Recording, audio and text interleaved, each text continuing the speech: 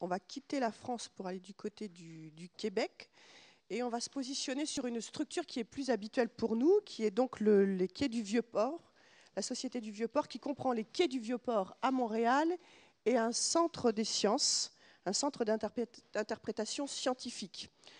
Donc, Monsieur Ramatra, merci d'être venu jusqu'à nous.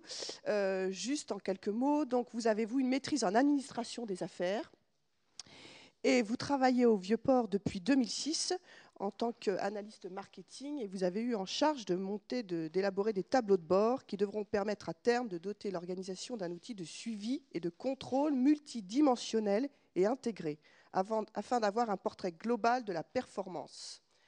Voilà, je vais vous laisser la parole. On va peut-être permuter parce qu'il y a des, au niveau des animations. Alors bonjour euh, tout le monde, euh, merci de votre présence aujourd'hui. Puis euh, je remercie aussi évidemment l'OSIM de, m'avoir donné l'opportunité de venir m'exprimer devant vous pour vous donner un petit peu de l'aperçu de ce que nous on fait au niveau justement de, des indicateurs de performance.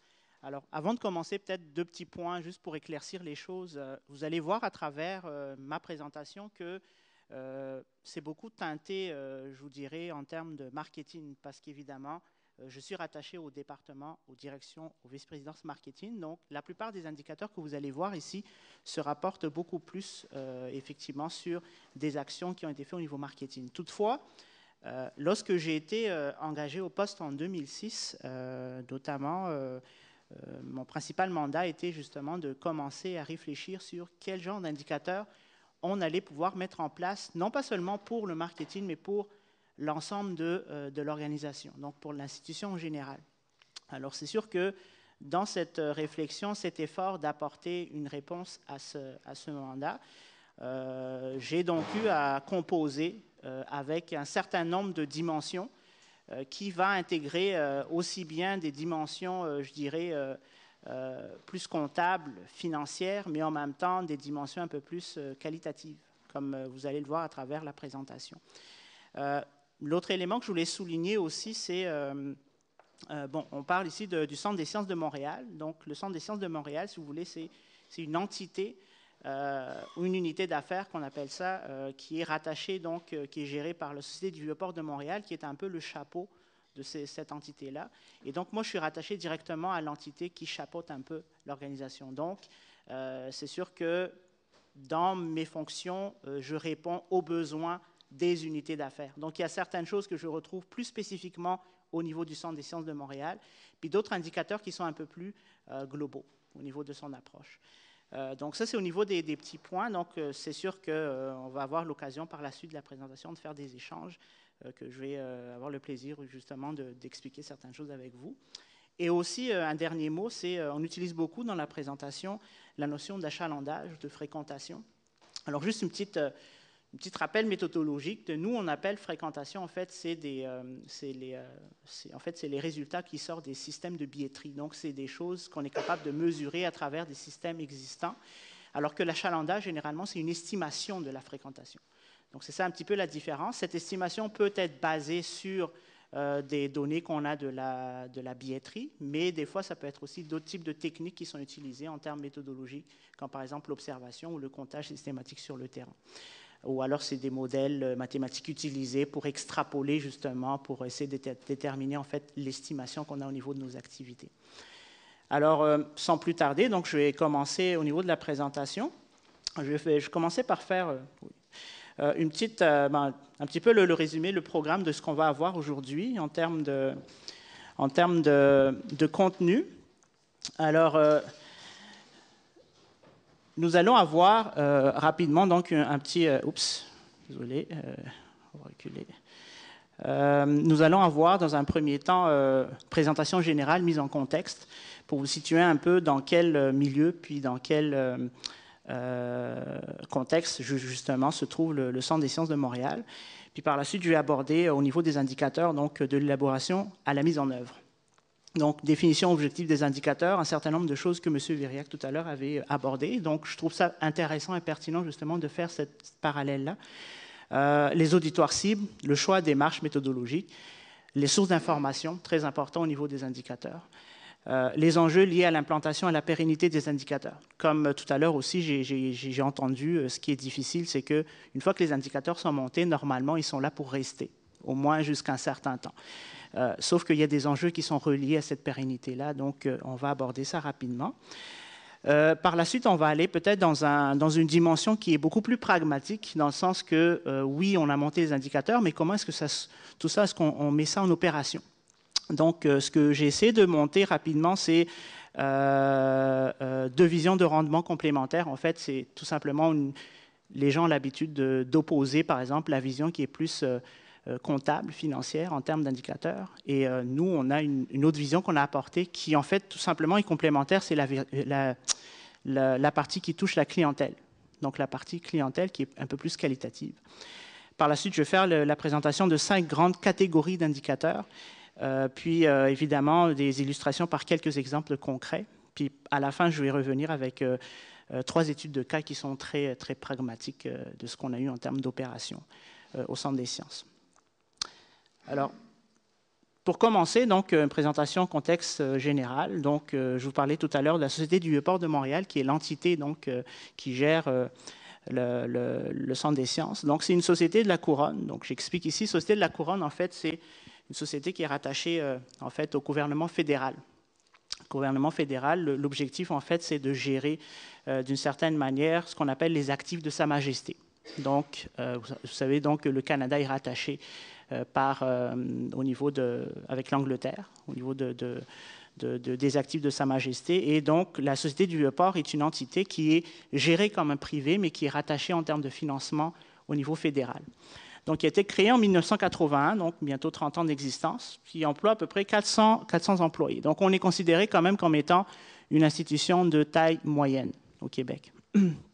La mission est de développer, gérer, animer une vaste site récréo-touristique et culturel urbain parce que notre site se trouve en fait au cœur de Montréal, dans le quartier historique, au bord du fleuve Saint-Laurent.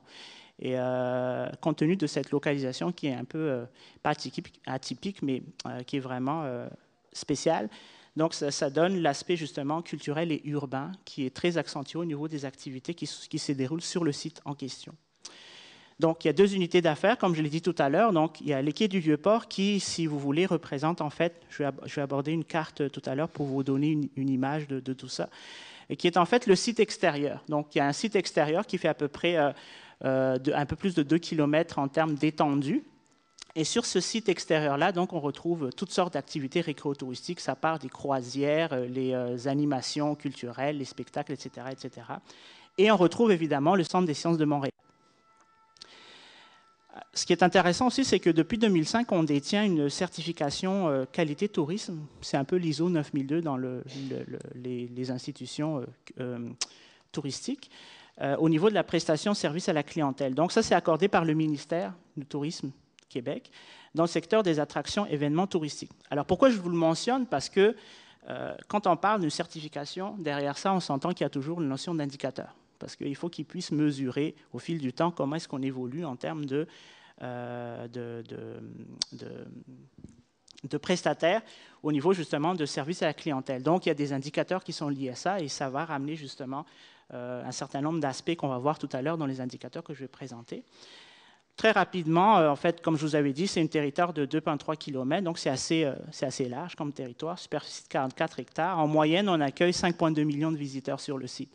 Ce qui fait qu'on est quand même, euh, je pense, euh, dans les euh, principaux attractions touristiques, en tout cas pour la région, pour la grande région de Montréal. on a 47 concessionnaires qui sont présents sur le site, comme je vous avais tout à l'heure, ça part des concessionnaires nautiques, restaurants, boutiques, animations, etc. Et on compte à peu près 520 jours d'activité. Alors, jours d'activité, pour nous, c'est par exemple une activité qui se déroule en soirée. dans le cadre d'un spectacle, c'est compté comme une journée d'activité en tant que telle. Donc, c'est pour ça que on a plus de jours d'activité que de nombre de jours euh, euh, calendaires. Euh, on a des programmations d'envergure principalement sur deux saisons. Donc, il y a la saison hivernale, en fait, qui va commencer, je vous dirais, à la fin du mois de novembre et qui va s'étendre jusqu'à la fin du mois de février. Et évidemment, la saison estivale, qui est la plus importante pour nous, qui, elle, s'échelonne en fait à partir de la fin mai jusqu'à fin septembre. Et on a fait une dernière étude des retombées économiques l'année dernière, où on a estimé qu'on contribue pour à peu près 61 millions de dollars canadiens en termes de valeur ajoutée au niveau de l'économie locale et. Alors, cartographie du site, donc vous voyez ici, en fait, euh, tous les espaces que vous voyez en vert, ce sont les espaces que nous, on gère au niveau du territoire. Donc, vous voyez que c'est quand même relativement euh, étendu. Alors, à l'intérieur de ça, donc, il y a ce qu'on appelle les quais, euh, là où vous voyez les, les, illustrations de bateaux. Et évidemment, le Centre des sciences de Montréal, donc, il se trouve après, en fait, entre les quais Alexandra et quai Jacques-Cartier, donc, il se trouve en plein milieu. Et c'est là-dessus qu'on a justement le Centre des sciences de Montréal. Donc, vous voyez ici au niveau du site, euh, euh, il y a beaucoup d'activités, il y a pas mal de choses qui se déroulent sur, ce site-là. Et en même temps, euh, à, à, cause de sa configuration qui est justement, je dirais, unique à Montréal, et aussi la proximité du quartier historique, c'est une des raisons pour laquelle on a autant de visiteurs à chaque année. 5,2 millions de visiteurs, c'est parce que c'est beaucoup de touristes en fait qui viennent dans le quartier historique de Montréal, qui est, je dirais, une destination incontournable et qui terminent naturellement leur visite sur notre site au niveau de leur parcours. Euh, au niveau du Centre des sciences de Montréal, donc je vais juste rappeler euh, très rapidement quelques faits euh, historiques. Donc, en 1987, il y a eu la première exposition Expotech. Donc, c'était une exposition interactive à caractère scientifique. Ce qui est intéressant, c'est que dans l'historique, qui est quand même relativement jeune du Centre des sciences de Montréal, en fait, donc depuis la première exposition, ça a été toujours été autour de la thématique euh, interactive à caractère scientifique. Et même jusqu'à maintenant, euh, quand on voit le contenu de ce qu'on propose au niveau notamment des expositions temporaires et des expositions permanentes, on retrouve beaucoup cette caractère euh, interactive, un caractère scientifique. Donc, depuis, avant même que le Centre des sciences existe dans sa, je dirais, dans sa version actuelle, ça a été toujours en fait la thématique qui a été privilégiée et tout le contenu par la suite a été développé en fonction de cela. Donc, en 98, le bâtiment euh, a été euh, construit, donc euh, au départ qui s'appelait Centre ici, qui a été donc ouvert en le 6 mai 2000. Et en 2002, il y a eu une nouvelle appellation, donc une nouvelle marque, qui s'appelle Centre des sciences de Montréal, qui va bientôt fêter ses 10 ans, qu'on va célébrer en fait le 10 octobre 2010, donc très bientôt. La mission du Centre des sciences de Montréal, c'est de contribuer à ce que chaque individu devienne capable de s'approprier les sciences et technologies pour construire son avenir. Donc, il y a une démarche citoyenne derrière cette, mission-là, évidemment, et ça, va se traduire aussi notamment à l'intérieur de chercher des indicateurs de ce qu'on appelle de mission, qui, elles, euh, sont des indicateurs qui, s'éloignent un peu d'une certaine manière des indicateurs habituels en termes euh, euh, comptables et financiers. Public auditoire cible, donc on retrouve évidemment un certain nombre de, personnes qui fréquentent le Centre des sciences de Montréal. Donc évidemment, c'est le grand public, euh, toute personne qui s'intéresse aux sciences et technologies. Au niveau du grand public, ce qu'on vise, en tout cas au niveau de nos contenus, évidemment, c'est plus une clientèle familiale, euh, mais particulièrement les jeunes pour stimuler leur curiosité et susciter justement euh, des passions, du savoir et du goût en termes de carrière scientifique. On a évidemment aussi beaucoup de, beaucoup de, clientèle qui vient du milieu de l'éducation, donc évidemment les groupes scolaires et les formateurs, mais aussi des entreprises qui euh, sont exposées à travers euh, des contenus au niveau du Centre des sciences, notamment pour assurer le rayonnement au niveau du savoir-faire local. Donc, vous savez, par exemple, au Québec, euh, on a beaucoup d'entreprises qui sont dans le domaine de l'aéronautique, notamment avec la grosse compagnie qui est Bombardier. On a aussi des, un certain nombre de, compagnies qui sont dans, la technologie de tout ce qui est énergie hydroélectrique. Donc, ces compagnies-là et tout ce qui concerne en fait les, énergies renouvelables, donc toutes ces compagnies-là ou ces entreprises-là, en fait, ont développé une, espèce de savoir-faire qui sont exposés à travers des, thématiques, à travers des, items à l'intérieur du Centre des sciences de Montréal. Quelques statistiques, enfin, pour terminer le mise en contexte. Donc, depuis 2002, donc, le Centre des sciences de Montréal a accueilli un peu plus de 7 millions de visiteurs. 40 euh, expositions à peu près, ou un peu plus, se sont tenues dans, dans ces lieux. Euh, il y a 50 événements variés qui ont été programmés, 120 innovations québécoises et canadiennes qui sont présentées de manière euh, permanente ou récurrente. Et évidemment, aussi dans le Centre des sciences de Montréal, on a le, le, cinéma IMAX, TELUS, en fait, qui est projection des films IMAX 3D. Et évidemment, ça aussi, ça constitue, je dirais, un source de revenus très important pour le Centre des sciences en termes de contribution commerciale. Euh, donc, c'est un acteur majeur en fait dans le secteur des institutions muséales, en particulier au sein de la catégorie des lieux d'interprétation scientifique à Montréal. Donc, quand on parle de lieux d'interprétation, cette catégorisation-là a été fixée par euh, l'Observatoire de la culture, qui est en fait rattaché à l'Institut de la statistique du Québec, qui classe donc, euh, a créé une nomenclature en termes d'institutions muséales. Et donc, le Centre des sciences de Montréal se retrouve à l'intérieur de cette catégorie de lieux d'interprétation scientifique. Alors, pour le Centre des sciences de Montréal, donc entre 2001 et 2009, euh, il y a à peu près, on fait une moyenne de 579 000 visiteurs en moyenne par année. Euh, en termes de part de marché, on occupe 6% de part de marché en ce qui concerne la fréquentation totale des musées au Québec en 2009. Euh, au Québec, on compte 423 établissements muséals pour à peu près 11,9 millions de visiteurs au total. Euh, ce qui est intéressant aussi, c'est qu'on a un taux d'accroissement annuel moyen de 2,5. Donc, ça veut dire que si on regarde de 2001 à 2009, donc euh, en termes de visiteurs, on a une croissance qui est euh, positive à chaque année de 2,5 Donc, ça montre que le, le, bassin de clientèle augmente pour le Centre des sciences de Montréal d'année en année. Au niveau de Montréal, plus particulièrement, on occupe 22% de la part de marché en ce qui concerne les fréquentations totales des musées les plus importants à Montréal. Donc, il y a 13 institutions euh, qui sont notamment euh, listées dans la base de données de Tourisme Montréal. Donc, ce n'est pas nous qui faisons cette décompte-là, c'est vraiment euh, Tourisme Montréal qui est en fait l'organisation de promotion de la destination de la ville de Montréal. Et à l'intérieur donc de, sa base de données, il y a 13 institutions qui sont listées, qui sont les plus importantes en fait. Et euh, ces institutions-là génèrent pour à peu près 3,1 millions de visiteurs. Donc, euh, nous, là-dessus, on occupe un part de marché de 22 Et encore une fois, on constate aussi en termes de taux d'accroissement annuel moyen qu'on est en augmentation d'à peu près 7 donc toujours dans la période de 2001 2009. Donc, ça vous donne un petit peu un portrait en termes de, de, performance déjà dans un premier temps au niveau du Centre des sciences de Montréal. Donc, mis comme ça, c'est bien beau, mais effectivement, ça dépend aussi des contextes. Donc, en 2009, euh, vous savez qu'on a eu, euh, notamment avec la crise financière, donc ça a eu des répercussions un peu partout, même au niveau de ce qu'on appelle les dépenses discrétionnaires des ménages, qui sont consacrées aux sorties en loisirs. Donc, il y a eu des, impacts là-dessus. On l'a senti en, termes de fréquentation, en termes de baisse de revenus. Euh, en même temps aussi, on a eu un euh, on a eu l'impact direct euh, vu qu'on est beaucoup fréquenté par la clientèle touristique. Donc une baisse de la, fréquentation de la clientèle touristique, notamment américaine qui viennent à Montréal en voiture, une baisse d'à peu près 30% Donc ça, ça a un effet direct aussi au niveau du site et au niveau de la fréquentation des musées.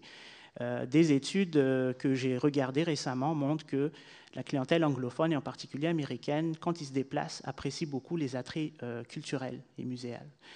Donc, le fait qu'ils ne viennent pas, évidemment, ça a un impact plus important dans cette industrie-là que, par exemple, euh, les attraits touristiques ouverts ou récréo-touristiques en général.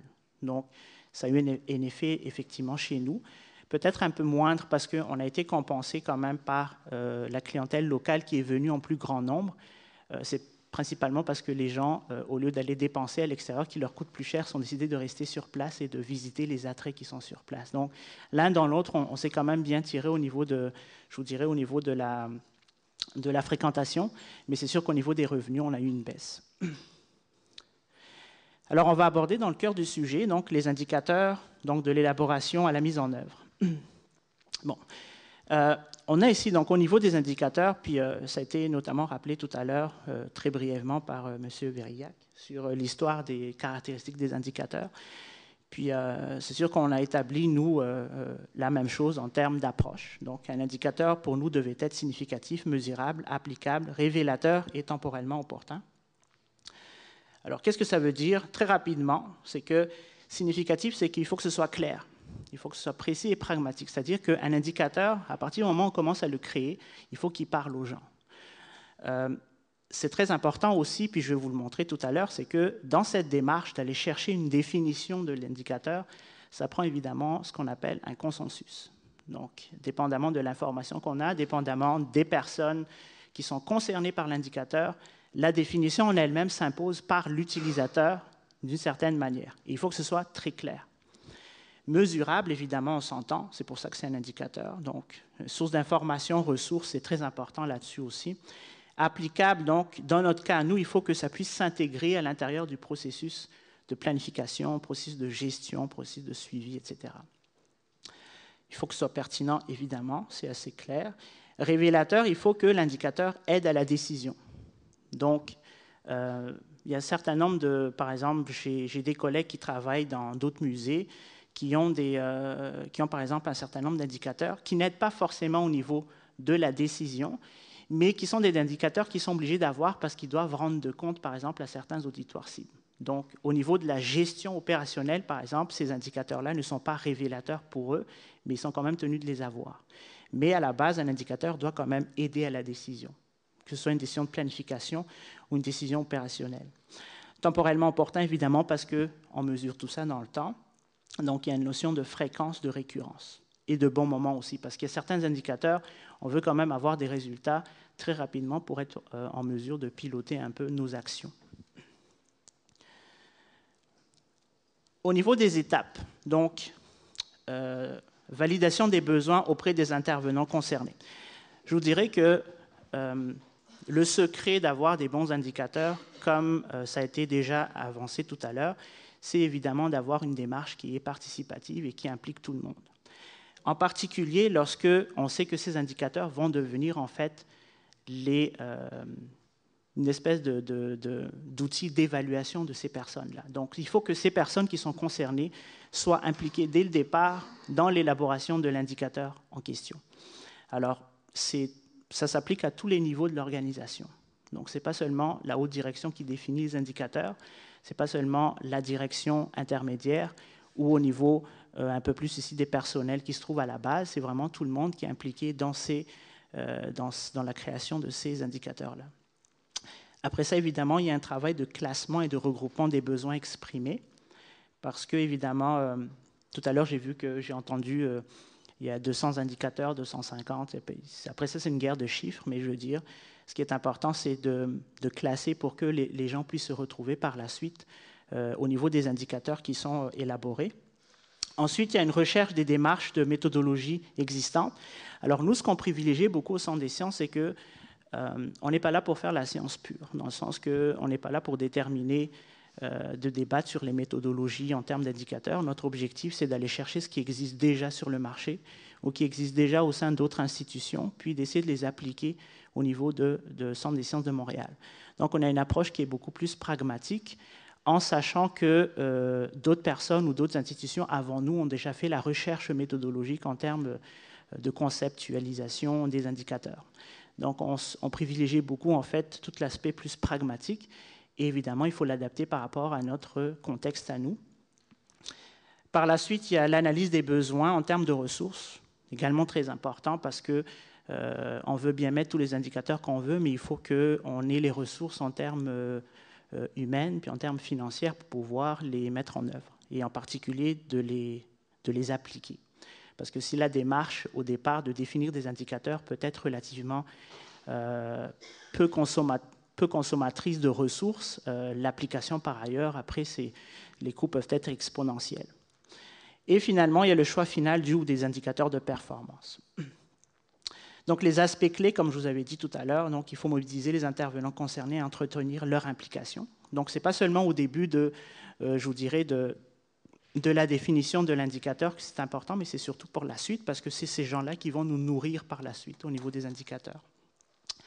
Il faut aussi faire preuve de discernement, de leadership euh, quand il faut faire des choix priorisés, parce que tout le monde a des besoins différents, euh, puis les besoins euh, je, en fait, d'une certaine manière, les besoins sont justifiés pour, pour chacun des intervenants qui sont concernés, mais à un moment donné, pour ne pas se retrouver avec 400 indicateurs, il faut faire des choix. Donc il faut faire preuve de discernement, de leadership là-dessus. Euh, comme je vous avais dit aussi, on privilégie beaucoup, tout ce qui existe déjà ailleurs, donc ce qu'on appelle un peu l'activité benchmarking. Puis, il euh, faut faire un audit objectif sur les capacités internes pour appuyer le processus. Donc, euh, il ne faut pas que ça reste des, vieux, vœux pieux, en fait. Il faut vraiment qu'on puisse les réaliser. Et là-dessus, donc, il faut que l'institution ait un regard objectif sur qu'est-ce qu'elle est capable de faire. Donc, ça, c'est au niveau des différentes étapes. en termes de de champ de vision. Donc, il y a des indicateurs qui, comme je vous avais dit, qui vont servir à la haute direction, d'autres pour les unités d'affaires euh, et des directions, et d'autres pour les gestionnaires superviseurs, qui est un peu plus au niveau du terrain. Euh, ce qui est intéressant, puis j'ai mis à côté, c'est euh, au niveau de, du champ de vision. que le champ de vision au niveau de la haute direction, on s'entend, c'est plus une vision stratégique globale de la performance ou du rendement à moyen long terme. Pour les unités d'affaires ou direction, ben, on a une vision qui est un peu plus tactique, court à moyen terme. Nous, au niveau marketing, on s'inscrit plus à ce niveau-là. Et finalement, il y a une vision euh, opérationnelle ou très à court terme où, les actions correctives sont apportées en fait euh, soit sur une base hebdomadaire ou même mensuelle. Alors ça veut dire quoi? Ça veut dire que pour la haute direction, donc, ce sont des indicateurs qui sont sur une base annuelle, portrait global de l'ensemble des résultats des activités. Pour les unités d'affaires et direction, on parle plus sur une base mensuelle ou trimestrielle. Donc c'est plus des résultats par activité ou par projet. Et finalement, euh, pour les gestionnaires superviseurs, c'est des indicateurs sur une base quotidienne hebdomadaire, donc une performance, un portrait de performance opérationnelle. Un exemple concret de ça, c'est euh, lorsqu'on fait par exemple le suivi, euh, quand on parle de service à la clientèle et qu'on suit nos indicateurs au niveau du centre d'appel. Donc, nombre d'appels qu'on reçoit, nombre d'appels traités, nombre d'appels abandonnés, etc. C'est des indicateurs qui sont des indicateurs de performance opérationnelle.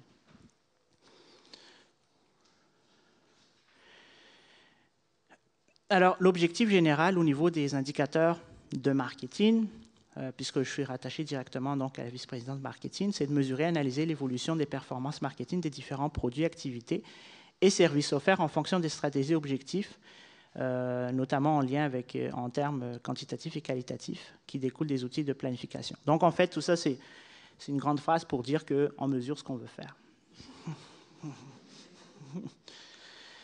Processus. Alors ici, euh, j'illustre juste très rapidement pour vous donner une idée euh, comment tout ça se traduit euh, concrètement. Alors, il y a donc des plans d'entreprise ou des plans de développement ou des plans marketing, en tout cas, des outils de planification qui existent, qui sont mis en place autant pour les quais du Vieux-Port que pour le Centre des sciences de Montréal. Et évidemment, de ces plans-là découlent des stratégies ou des objectifs qui ont été fixés euh, donc, après ça, au niveau de la mise en œuvre, donc, il y a un certain nombre d'outils qui existent, qu'on retrouve notamment des outils marketing, des outils de relations publiques, outils médias, les outils d'opération financiers, etc. Et ça tombe évidemment après dans la case qui s'appelle l'évaluation et mesure de performance. C'est là qu'interviennent nos indicateurs de performance en tant que tels. Et euh, ces indicateurs de performance vont alimenter par la suite des rapports ou des post-mortem, c'est-à-dire des rapports d'activité. Évidemment, il y a une rétroaction par la suite puisqu'on euh, veut savoir s'il y a des mesures correctives qui sont apportées. Alors, c'est juste pour vous montrer un petit peu le processus, euh, grosso modo, de ce qui est suivi au niveau du, Centre des sciences de Montréal à ce sujet. Au niveau des auditoires cibles des indicateurs marketing, euh, en fait, on a énormément de personnes qui, pas qui dépendent, mais qui, utilisent en fait les ressources qui découlent ou les résultats qui, découlent de ces indicateurs-là. Alors il y a évidemment l'entité qui est responsable de la production et de l'analyse, qui est le marketing. En fait, le marketing a eu le mandat en 2007 de monter euh, ces indicateurs. Donc on devient un peu les responsables de tout ce qui est euh, création d'indicateurs, suivi, puis mise en place, etc. Donc c'est une responsabilité qui est relativement assez lourde parce que euh, en termes de ressources, en fait, il n'y a que moi qui m'occupe de, de cette dimension-là, mais vous vous en doutez qu'il y a énormément d'indicateurs, donc il y a énormément de choses à regarder.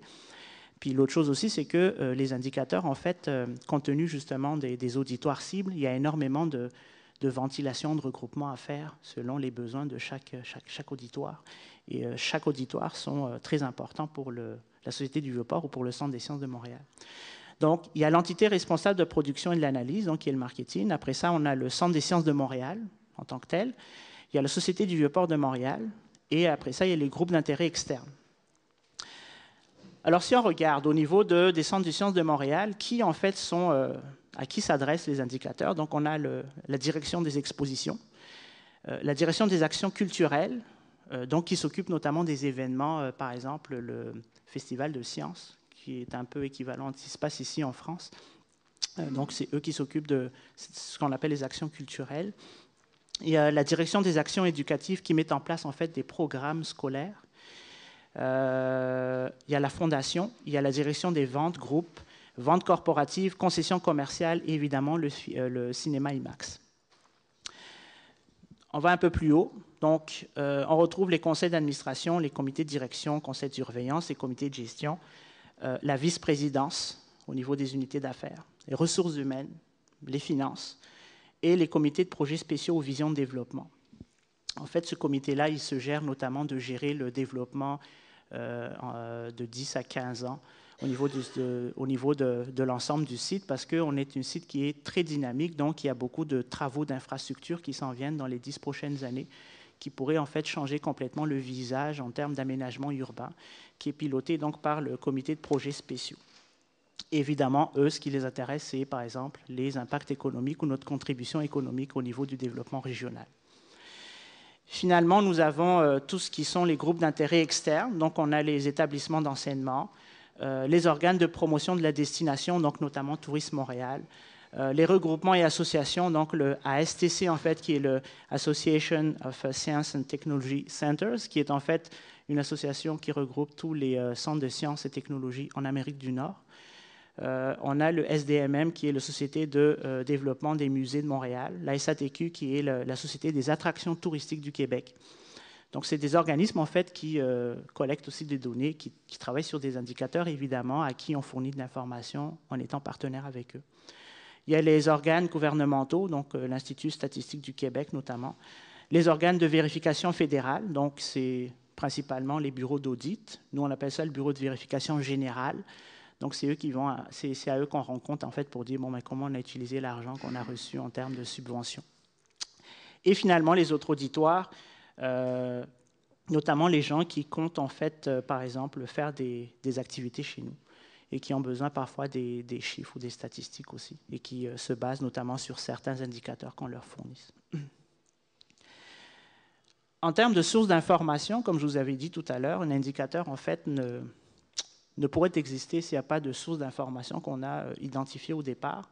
Donc, pour les alimenter, en fait, j'ai trois blocs principaux. Donc, il y a les données internes. Donc, on a les rapports de la billetterie. On a un système de billetterie où il y a un certain nombre de systèmes qui existent déjà au sein de l'organisation.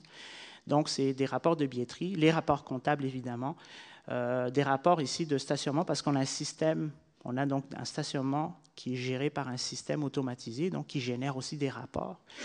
Euh, on a les rapports Internet, parce qu'en fait, on est très impliqué sur le développement du web. Et là-dessus aussi, donc, il y a un certain nombre d'indicateurs, il y a un paquet de facteurs d'indicateurs qui viennent notamment de tout ce qui est Internet et web. On a le centre d'appel et on a d'autres rapports internes. Au niveau des données secondaires, euh, c'est principalement des données qui nous viennent des instituts, des regroupements, des associations. Donc, vous voyez ici, par exemple, il y a l'Observatoire de la culture, euh, des chaires de recherche au niveau des universités. Euh, au niveau des données primaires, ça, c'est des sondages et des. En fait, c'est des, actions qu'on fait pour aller chercher des données par rapport à notre clientèle. Alors là-dessus, on fait appel à des firmes privées de recherche. Et donc, on a des sondages, des groupes de discussion, des observations, des validations de concepts et des comparatifs. Donc, ce que ça nous donne en termes de, contexte un peu, c'est qu'on a une multiplication des sources de données, comme vous le voyez ici. Il y a aussi euh, énormément de diversité au niveau de la nature de ces données-là.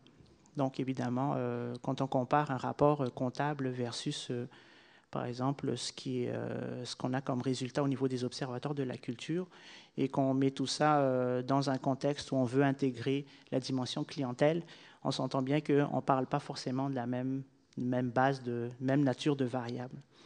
Évidemment, il y a aussi l'impact de la nouvelle technologie avec le virage web qu'on a pris depuis à peu près un an. Euh, donc, on veut euh, développer plus au niveau justement de euh, nos outils d'évaluation sur le web. Alors, tout ça, en fait, conduit à une approche méthodologique globale qui est basée sur une cohabitation de plusieurs méthodes existantes. Juste faire petit, une petite parenthèse. Donc, au niveau des données primaires, donc, on fait un certain nombre d'études auprès de la clientèle. Alors, euh, grosso modo, en fait, je gère un budget d'à peu près 100 euh, 000 euh, euros par année pour faire des études auprès de la clientèle. Et c'est, je tiens à le mentionner parce que dans le milieu culturel, puis en particulier institutions muséales, à Montréal, puis je pense même au Québec, je pense qu'on fait partie de ces institutions qui ont une culture justement d'aller chercher cette information-là. je vais, revenir là-dessus tout à l'heure sur l'implication justement de l'organisation au, niveau de la, au niveau de la philosophie de pensée en termes de privilégier justement des recherches auprès de la clientèle. Donc ça commence, mais évidemment, il faut aussi se donner les moyens. Puis euh, ce qui est intéressant au niveau du Centre des sciences, c'est qu'on met quand même suffisamment de moyens financiers pour aller chercher cette information. Alors, très rapidement, ce qu'on a, c'est qu'en fait, on a à peu près euh, euh, l'équivalent de 60% du budget total qui est consacré à la recherche et aux études par année, qui est en fait attribué au Centre des sciences de Montréal. Et là-dessus, donc, on retrouve autant des études de notoriété de la marque, euh, des sondages au niveau des actions culturelles, des sondages euh, post-ouverture. Donc, une fois qu'une exposition, par exemple, a été mise en place, c'est d'aller chercher tout de suite, par exemple, les, euh, des fiches d'appréciation, d'appréciation du contenu, etc.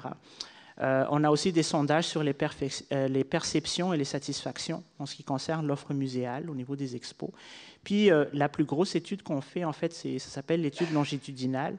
En fait, c'est une étude qui regroupe à peu près 120 euh, questions euh, qu'on pose directement euh, à la clientèle, qui est maintenant administrée sur le web et qui est en fait mise en place par la firme qui s'appelle Ipsos, qui est en fait une branche de Ipsos Red. En moyenne, on fait une quinzaine d'études annuellement pour le Centre des sciences de Montréal. Donc, vous voyez que en termes de données primaires, donc on essaie quand même d'aller chercher un certain nombre d'informations à travers ces différentes études-là. Euh, comme je vous avais dit, on a pris le virage web il y a à peu près deux ans. Donc, ce qu'on essaie de mettre en œuvre maintenant, c'est des études plus des études internes, mais qui va privilégier plus donc le web pour aller chercher de l'information. Donc, c'est des questionnaires en ligne, c'est des groupes de discussion en ligne. Évidemment, on est appuyé dans la démarche méthodologique par les firmes de recherche indépendantes, mais en termes de euh, opérationnalisation et de mise en œuvre, donc on privilégie beaucoup le web. On s'entend là-dedans, il y a une économie assez importante à aller chercher en termes de coûts de mise en œuvre, parce que ça nous coûte, euh, ben, je dirais, quasiment rien, euh, versus, par exemple, aller euh, faire ça par, à travers les questionnaires par téléphone ou par interception sur le site. Alors, pour assurer la, pérennité des indicateurs, je vous avais dit tout à l'heure, notamment, donc, nos indicateurs de performance, en fait, il y a quatre, quatre dimensions principales euh, pour euh, pouvoir assurer leur pérennité. Premièrement, c'est, je pense, le soutien organisationnel. Ça prend vraiment d'avoir une culture au niveau de l'organisation qui privilégie euh, de se donner des moyens, puis de se donner aussi une mission pour pouvoir assurer l'existence de ces indicateurs de performance à long terme. Donc, cela va transcender au-delà de la mission de l'organisme. En fait, ça devient carrément un, une mission institutionnelle, donc de pouvoir se doter d'indicateurs de performance et de se donner les moyens pour les mettre en place et les mettre en œuvre. Après ça, il faut s'assurer d'avoir euh, l'accessibilité et la disponibilité des données. Donc, par exemple, nous, on a eu un enjeu cette année parce qu'on a changé de système de billetterie. Alors, euh, déjà, au niveau de l'indicateur, il faut revoir, est-ce qu'on mesure la même chose? Est-ce qu'on les a toujours euh, les données dans le même format qu'on avait avant, parce que ça peut changer éventuellement la manière dont on approche au niveau des, des, euh, données qu'on va intégrer à l'intérieur des indicateurs. Euh, mais aussi parce qu'on s'appuie notamment sur un, réseau de veille qu'on a monté. il faut s'assurer, par exemple, au niveau de nos partenaires externes, comme par exemple Tourisme Montréal, s'ils font un changement méthodologique dans leurs indicateurs, ça peut avoir un impact chez nous, vu que nous, on utilise des indicateurs qui viennent de chez eux. Alors ça aussi, évidemment, euh, c'est un enjeu. Donc il faut voir si euh, les, euh, les, personnes avec qui on va interagir en termes d'indicateurs ont aussi un système qui est pérenne, qui permet à ce moment-là aux, organisations, en fait aux, bénéficiaires de, de ces données-là, d'être relativement stables dans le temps. il y a aussi la diffusion et l'intégration des résultats. Donc, plus on diffuse les résultats au niveau de euh, des indicateurs de performance, donc plus c'est accepté au niveau justement des, euh, intervenants. Et plus cette, euh, acceptation est, est, élevée, plus justement les gens trouvent l'utilité et la pertinence. Et à ce moment-là, ça garantit une durée de vie au niveau des indicateurs. Parce qu'un indicateur où les gens ils en veulent pas, c'est sûr qu'il va mourir très bientôt. Euh, il y a aussi l'intégration des résultats. Donc, quand on parle de l'acceptation cela sous-entend justement que ces indicateurs-là sont utilisés par les personnes à qui on les envoie et qu'ils soient capables justement de les intégrer au niveau de leur processus habituel en termes de gestion. Alors ici, il y, a, quelque chose de très important aussi, c'est que nous, dans la démarche, en tout cas en 2006, quand j'ai reçu le mandat de monter les indicateurs, euh, moi j'ai beaucoup privilégié le fait qu'il faut partir des outils qui sont déjà utilisés par les personnes. Donc il ne suffit pas de recréer la roue, mais vraiment de, de partir ce que les gens utilisent déjà et à ce moment-là de les bonifier ou de prendre un indicateur qui utilise déjà ces outils-là. Donc il y a un gain de temps là-dedans. Euh, le, volet d'acceptation est déjà plus ou moins acquis puisqu'on part des mêmes données, donc des mêmes bases que les gens ils ont déjà l'habitude d'utiliser. Euh, le taux d'apprentissage ou le taux d'adoption aussi est très rapide parce qu'en fait on retrouve à peu près euh, les gens sont déjà familiers avec l'outil, donc c'est pour eux c'est une nouvelle réinterprétation tout simplement au niveau des indicateurs. Et ça a permis de gagner beaucoup de temps. C'est-à-dire qu'en euh, quatre ans, on a quand même évolué énormément en termes d'indicateurs de performance, alors que euh, si on, regarde sur une base méthodologique, juste mettre en place des indicateurs, ça, ça, prend à peu près entre 4 et 5 ans, juste au niveau de l'élaboration.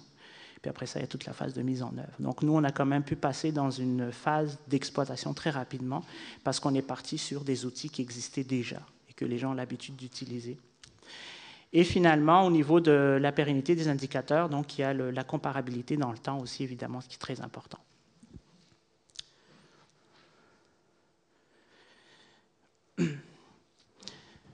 Au niveau des indicateurs de performance maintenant du Centre des sciences de Montréal, euh, on a ici, comme je vous avais dit, deux visions qui pas s'opposent en fait. Moi, je ne tiens pas trop à, dire qu'ils s'opposent. En fait, pour moi, ils sont complémentaires. Avant que, j'arrive en place en 2006, on avait donc beaucoup plus des indicateurs comptables et financiers. Donc, si vous voyez les revenus, dépenses, les ratios financiers, on parle d'immobilisation, les coûts de ressources et aussi beaucoup de planification budgétaire et de fin d'exercice. Donc, c'est ce qu'on retrouve à peu près dans n'importe quelle euh, institution.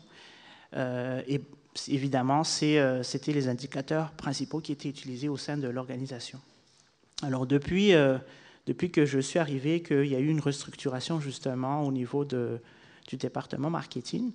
Donc, on a rajouté d'autres indicateurs qui sont venus en fait compléter ces indicateurs-là. Donc, on retrouve notamment les indicateurs d'achalandage de fréquentation, profil, provenance de la clientèle, segmentation de marché, notoriété de la marque, appréciation, perception, intention de retour.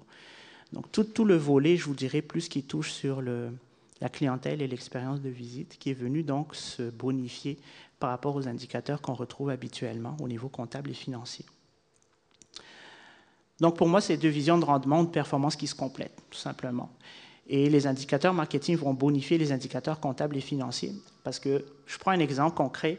Euh, les finances rapportent par exemple une baisse de revenus en 2009. Si on s'attarde uniquement sur la performance financière, la conclusion est de dire que l'institution en fait euh, a une mauvaise année.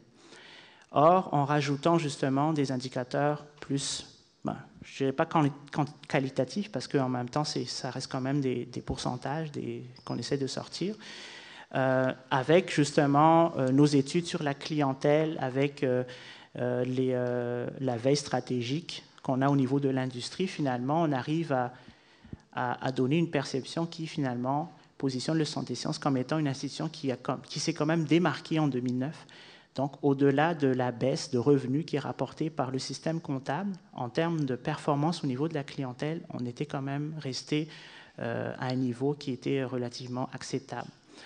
Et cet aspect, cette explication, si vous voulez, ne peut être amené que si on a justement les moyens de pouvoir les documenter, donc à travers nos indicateurs qui sont les indicateurs marketing. Donc ça, c'est un exemple concret euh, qui permet de dire justement jusqu'à quel point ces deux visions-là se complètent. Euh, évidemment, ces indicateurs-là se retrouvent dans les, dans les documents qu'on remet au bureau de vérification générale. Donc, euh, eux, évidemment, ils sont plus portés sur les ratios financiers. Mais en donnant cette explication-là, ça permet justement de justifier, euh, de donner aussi un, éclairage un peu plus, je dirais, un peu plus complète de la situation.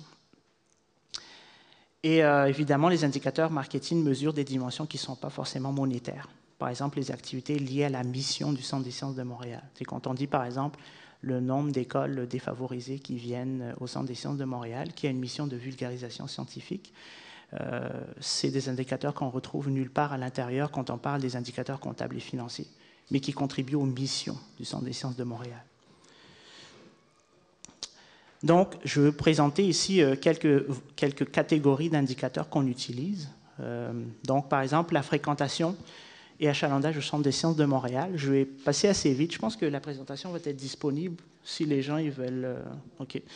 Donc, pour la, fréquentation, vous, voyez que la principale source pour nous, c'est le système interne, qui est le système de billetterie notamment. Donc, à l'intérieur de ça, on peut extraire un certain nombre d'indicateurs comme le nombre d'entrées totales, donc de billets émis. Euh, le nombre de billets de faveur, ça c'est les gratuités. Donc euh, quand on a par exemple, je, vous parlais tout à l'heure des écoles défavorisées qui viennent visiter le Centre des sciences de Montréal, euh, donc on émet des billets de faveur ou des gratuités ou des passes, si vous voulez, qui sont aussi comptabilisés dans le système. On a aussi un système de compte personnes, donc dans chaque salle, qui sont en fait des capteurs infrarouges qui mesurent en fait le flux en termes de, passage. Donc ça aussi, c'est euh, des systèmes qui permettent d'aller chercher des données. Euh, on a après ça des ventilations de, ces données-là. Par exemple, l'achalandage de la clientèle des enfants de 9-14 ans, euh, l'achalandage de la clientèle scolaire, primaire et secondaire, l'achalandage de la clientèle corporative, donc parce qu'on a aussi des locations de salles au niveau du Centre des sciences de Montréal. Donc on tient compte de ces résultats-là.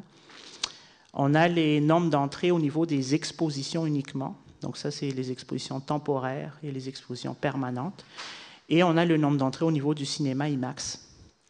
Euh, on a aussi évidemment le nombre d'entrées au niveau des groupes, parce qu'il y a les groupes scolaires, il y a les groupes aînés, les groupes scouts, ce qu'on appelle les camps de jour, etc., qui sont très actifs euh, tout au long de l'année et euh, qui n'ont pas les mêmes comportements et les mêmes besoins que la clientèle en général, la clientèle grand public. Donc on tient compte aussi de ces, euh, caractéristiques-là. Après ça, on a les achalandages, puis justement ici on parle d'estimation. On a donc l'achalandage au niveau des actions éducatives, donc au niveau des, programmes ou des, euh, des, actions qui sont données pour ces groupes-là lors de leur visite. Et au niveau des actions culturelles, comme je vous avais dit tout à l'heure, par exemple le Festival des sciences, qui sont des activités ponctuelles dans le temps qui durent à peu près 3-4 jours euh, mais qui peuvent avoir une influence euh, considérable au niveau notamment de la fréquentation des lieux. Donc ça, c'est au niveau des volets euh, fréquentation. Deuxième type d'indicateur, c'est au niveau profil et comportement de visite de la clientèle. Donc ça, c'est des indicateurs qui sont tirés notamment de, nos sondages auprès de la clientèle, notamment l'étude longitudinale, qui compte à peu près 3500 répondants donc sur 12 euh, mois. Puis on fait des, euh, recrutements sur le site euh, à peu près, je pense, 20 jours par mois pour chaque mois. Là-dessus, on a donc le profil sociodémographique avec une ventilation en pourcentage par variable. Donc, notamment, là-dedans, on a le sexe, on a l'âge, on a le, les revenus. Euh, puis un certain nombre d'indicateurs, pas d'indicateurs, mais un certain nombre de variables au niveau euh, sociodémographique. On a aussi la provenance par marché géographique, très important parce que, en fait, le Centre des sciences, euh, on a trois marchés géographiques. Il y a le marché de proximité, en fait, c'est la zone qui se trouve aux environs de 20 km et moins du Centre des sciences de Montréal. Et après ça, on a une deuxième zone, en fait, c'est entre 20 et 45 km, puis la zone qui est extérieure. Et nous, on a beaucoup une clientèle qui est une clientèle qui se trouve en fait dans la première zone. Donc c'est très important pour nous d'avoir cette ventilation euh, géographique-là euh, en termes euh, d'indicateurs plus tard pour justifier d'une certaine manière comment est-ce qu'on arrive à atteindre les, personnes ou les ménages à l'intérieur de ces, de, ces, de ces marchés géographiques. Il y a la langue d'usage aussi. Donc, vous savez, au Québec, il y a un enjeu au niveau de la langue, donc euh, la langue francophone, la langue anglophone. Euh, on sait que euh, la clientèle anglophone, c'est une clientèle qui apprécie beaucoup les attraits ou les institutions muséales. Donc, c'est eux, en fait, qui, qui sont des, fervents utilisateurs ou consommateurs de ce genre de produits. Mais au niveau du Centre des sciences de Montréal, en fait, on, on les rejoint juste à hauteur de 5% de la population. Donc, on a un effort à faire là-dessus parce que par rapport à d'autres musées, par exemple, qui est le musée des beaux-arts de Montréal, où le pourcentage, si vous voulez, de la clientèle anglophone tourne plus aux alentours de 20 euh, donc, on est vraiment sous-indexé pour cette clientèle-là. Donc, nous, on a beaucoup de clientèle francophone qui fréquente le musée, mais euh, pas assez de clientèle anglophone. Donc, euh, on tient compte là-dessus, on a un indicateur là-dessus qui nous permet justement de suivre comment on évolue par rapport à cette, à cette clientèle. Il y a évidemment le motif principal de visite, qui est en fait un pourcentage au niveau de notoriété des activités qui existent chez nous. La durée totale de la visite, les activités pratiquées lors de la visite, euh, l'utilisation du site web aussi, euh, avec le virage web qu'on a pris depuis deux, ans, en fait, on a mis en place des indicateurs qui permettent de savoir jusqu'à quel point le site web est utilisé, par exemple, dans la planification de visite des visiteurs. Évidemment, ça a une influence directe aussi sur les actions qu'on va faire par la suite au niveau marketing sur le web. Euh, la sensibilité aux sources d'information. De manière générale, le Centre des sciences de Montréal, comme n'importe quel musée en fait au Québec, passe beaucoup par les médias pour faire la promotion de leur activité. sauf qu'on constate que c'est de l'ordre à peu près, si on, prend toutes les sources d'informations disponibles, ça représente à peu près 20 à 30% en termes de euh, donc l'apport du média, en termes de sources d'information. Et le reste, en fait, c'est bouche à oreille. Donc, c'est vraiment les références de personne à personne euh, qui représentent à peu près 30 à 40% donc très important. Et aussi euh, le site web qui est de plus en plus, qui explose depuis à peu près deux ans. Après ça, on a l'historique de visite. Donc, ça, c'est le nombre moyen de visites au cours de la dernière année. Ça, c'est très important parce que ça nous permet de voir, en fait, ce qu'on appelle le taux de retour. Donc, le taux de retour nous permet d'avoir des estimations sur et de faire des projections ou des prévisions sur l'achalandage ou la fréquentation qu'on va avoir dans les prochaines années ou euh, les prochains, euh, prochains mois. Euh, on a les types de visiteurs aussi. Donc, on sait que pour le Centre des sciences de Montréal, la visite se fait jamais seule, en, tout cas très rarement seule. C'est toujours une visite qui est accompagnée donc deux personnes et plus. Et à l'intérieur de ça, évidemment, on a la clientèle familiale qui représente un, un part relativement important. On a les dépenses totales aussi euh, sur le site, donc les personnes qui viennent au Centre des sciences de Montréal. Oui, il y a le, le, coût du billet qui paye pour y accéder, mais il y a d'autres dépenses qui font sur le site, comme notamment le stationnement, euh, notamment euh, ce qui dépense au niveau des restaurations, au niveau des boutiques. Donc tout ça, c'est tenu en compte. Et évidemment, il y a aussi ce qu'on appelle les captures de la nouvelle clientèle, c'est la nouvelle clientèle qui vient chez nous. Euh, il y a des indicateurs qui permettent de les suivre aussi. Et d'ailleurs, ça, c'est un des indicateurs qui se retrouve dans le rapport qu'on remet au Bureau de vérification générale, qui permet de justifier notamment euh, qu'est-ce qu'on fait au niveau de l'argent qui est accordé au marketing en termes de promotion? Donc ça, c'est au niveau de profil et comportement de la, clientèle. Un autre indicateur qui est l'appréciation de l'expérience de visite. En fait, ça, c'est un, une dimension qui est de plus en plus euh, en vogue, en tout cas au Québec. Euh, l'appréciation de l'expérience de visite. Donc on retrouve dans toutes les institutions, euh, que ce soit culturelles, les événements et tout ça, euh, au niveau des, des, sondages, puis au niveau des indicateurs qui sont mis en place, on parle beaucoup de, l'expérience de visite. Donc, disons que nous, on est, vraiment dans cette mouvance-là. Et donc, on a mis en place aussi un certain nombre d'indicateurs qui permettent de rendre compte justement de, cette, qualité de l'expérience de visite par les visiteurs. Alors évidemment, ça se base encore une fois sur euh, nos euh, données euh, en termes de, sondage qu'on fait auprès de la clientèle. Donc là-dessus, on retrouve notamment la satisfaction générale à l'égard de la visite. On distingue en fait, c'est des échelles de mesure. pour parler un peu méthodologique, c'est des échelles de mesure de 1 à 10. Donc là-dessus, on fait après ça des regroupements entre les très satisfaits, les satisfaits et les insatisfaits. Et ce qu'on mesure principalement au niveau de nos indicateurs, c'est les pourcentages des gens qui sont très satisfaits, parce que ce sont ces gens-là qui ont une plus grande probabilité de revenir ou de référencer après ça le Centre des sciences de Montréal, qui deviennent en fait des ambassadeurs de la marque. Et ça, ça a une influence directe aussi au niveau de nos fréquentations et des visites de retour sur le site. Euh, la satisfaction qui sont liées aux aspects du service à la clientèle.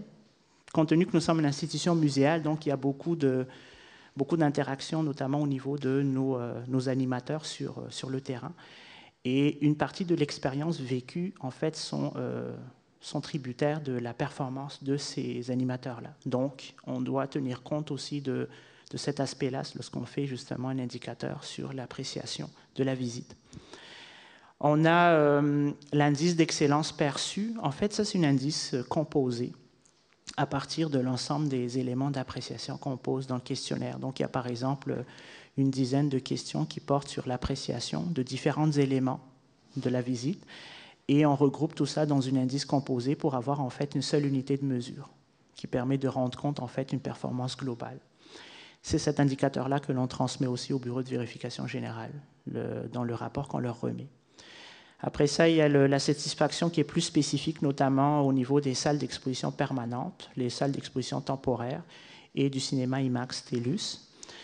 Euh, on fait aussi, euh, en fait, il y, a un indicateur qui est en fait ce qu'on appelle un indice de corrélation.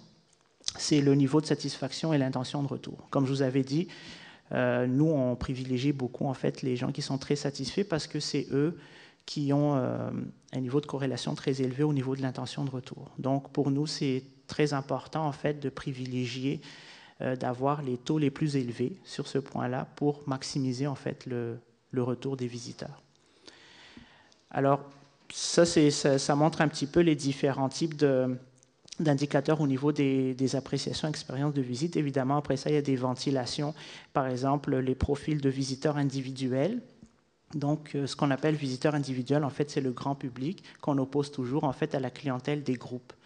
Donc, euh, systématiquement, on sort toujours aussi des, euh, des, statistiques ou des indicateurs par rapport à ces deux types de clientèle-là qui n'ont pas du tout le même comportement de visite. À titre d'exemple, la clientèle individuelle, quand elle vient chez nous, elle reste à peu près entre 1h30 et 2 heures. La clientèle groupe, c'est à peu près 3h30, 4 heures.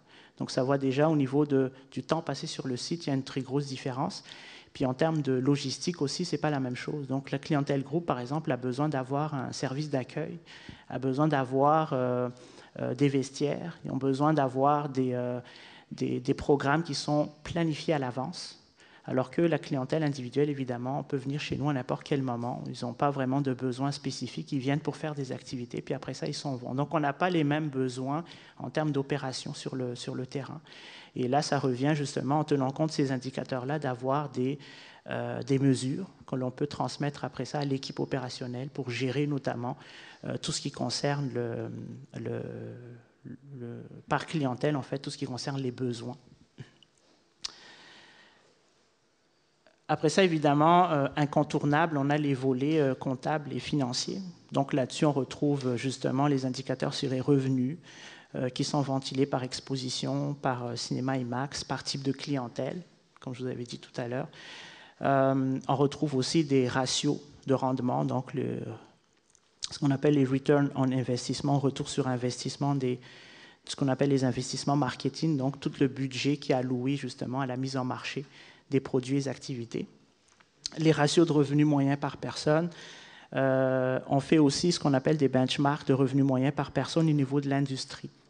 Donc, à travers notamment des, études euh, avec l'Institut statistique du Québec, il y a des modèles d'évaluation sur euh, les revenus moyens en termes de consommation des produits culturels en leur donnant nos données, ben, on arrive à avoir en fait une espèce de portrait de l'industrie et de savoir où est-ce qu'on se situe. Parce que ça aussi, c'est une des questions fondamentales qui est posée euh, lorsqu'on rencontre justement avec, euh, avec les organisations euh, telles que les bureaux de vérification, justifier en fait chaque dollar qui est donné, en fait, on l'utilise de quelle manière. Donc ça nous permet, avec ces, ces comparables-là, de nous dire, bon, ben, on se situe dans le marché, puis on évolue dans cette classification-là. Euh, il y a aussi les rendements sur les locations corporatives et les concessions commerciales, qui en fait sont des, euh, en fait, c'est les revenus locatifs d'une certaine manière. Et on fait aussi un, benchmark sur les investissements médias. Donc ça, c'est des firmes externes, en fait, qui sont spécialisées dans l'évaluation de toutes les actions que l'on pose en termes de communication. Donc ils font en fait une espèce de d'analyse générale sur, par exemple, qu'est-ce qu'on a investi en termes, de en termes de placement à la télévision, dans les imprimés, les radios, etc. etc. Et tout ça nous, nous permet toujours de répondre à la question fondamentale, où est-ce qu'on se situe par rapport à l'industrie? Finalement, il y a les indicateurs, donc une autre catégorie qui est sur le plan d'entreprise. Donc ça, c'est une vision qui est un peu plus générale, donc qui quitte un peu le Centre des sciences de Montréal pour aller plus du côté de la Société du Vieux-Port de Montréal, mais qui sont quand même rattachés directement euh, à euh, des, résultats qui sont euh, obtenus à travers l'unité d'affaires qui est le Centre des sciences de Montréal. Alors là-dedans, on a notamment les, les nombres de billets de faveur, si vous voulez, les gratuités, l'achalandage, c'est-à-dire l'estimation de la fréquentation des activités gratuites, euh, le nombre d'entreprises qui sont exposées dans les vitrines innovation, euh, le nombre d'enseignements qui participent au, programme Éclair de sciences. Donc, ce sont des programmes qui aident en fait les formateurs ou les enseignants dans le domaine de l'éducation. la contribution du Centre des sciences de Montréal au sein de l'industrie muséale, pourcentage d'autofinancement du budget de fonctionnement, les retombées économiques. Euh, le code global de rendement euh, pour le SGE, ça en fait, c'est, on est aussi dans une démarche, euh, je vous dirais, de, citoyenne en termes de développement durable. Donc, on contribue d'une certaine manière à, à, réduire en fait notre impact en termes de, en termes de, performance, en fait, à augmenter notre, notre rendement au niveau du performance environnementale.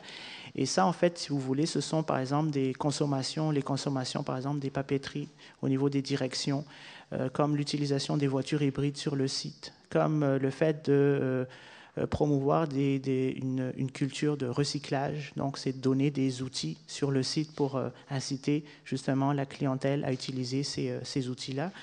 Et tout ça, en fait, toutes ces actions-là se retrouvent à travers un indicateur composite, donc qui est le code global de rendement, qui est fixé un peu par le, ministère de l'Environnement.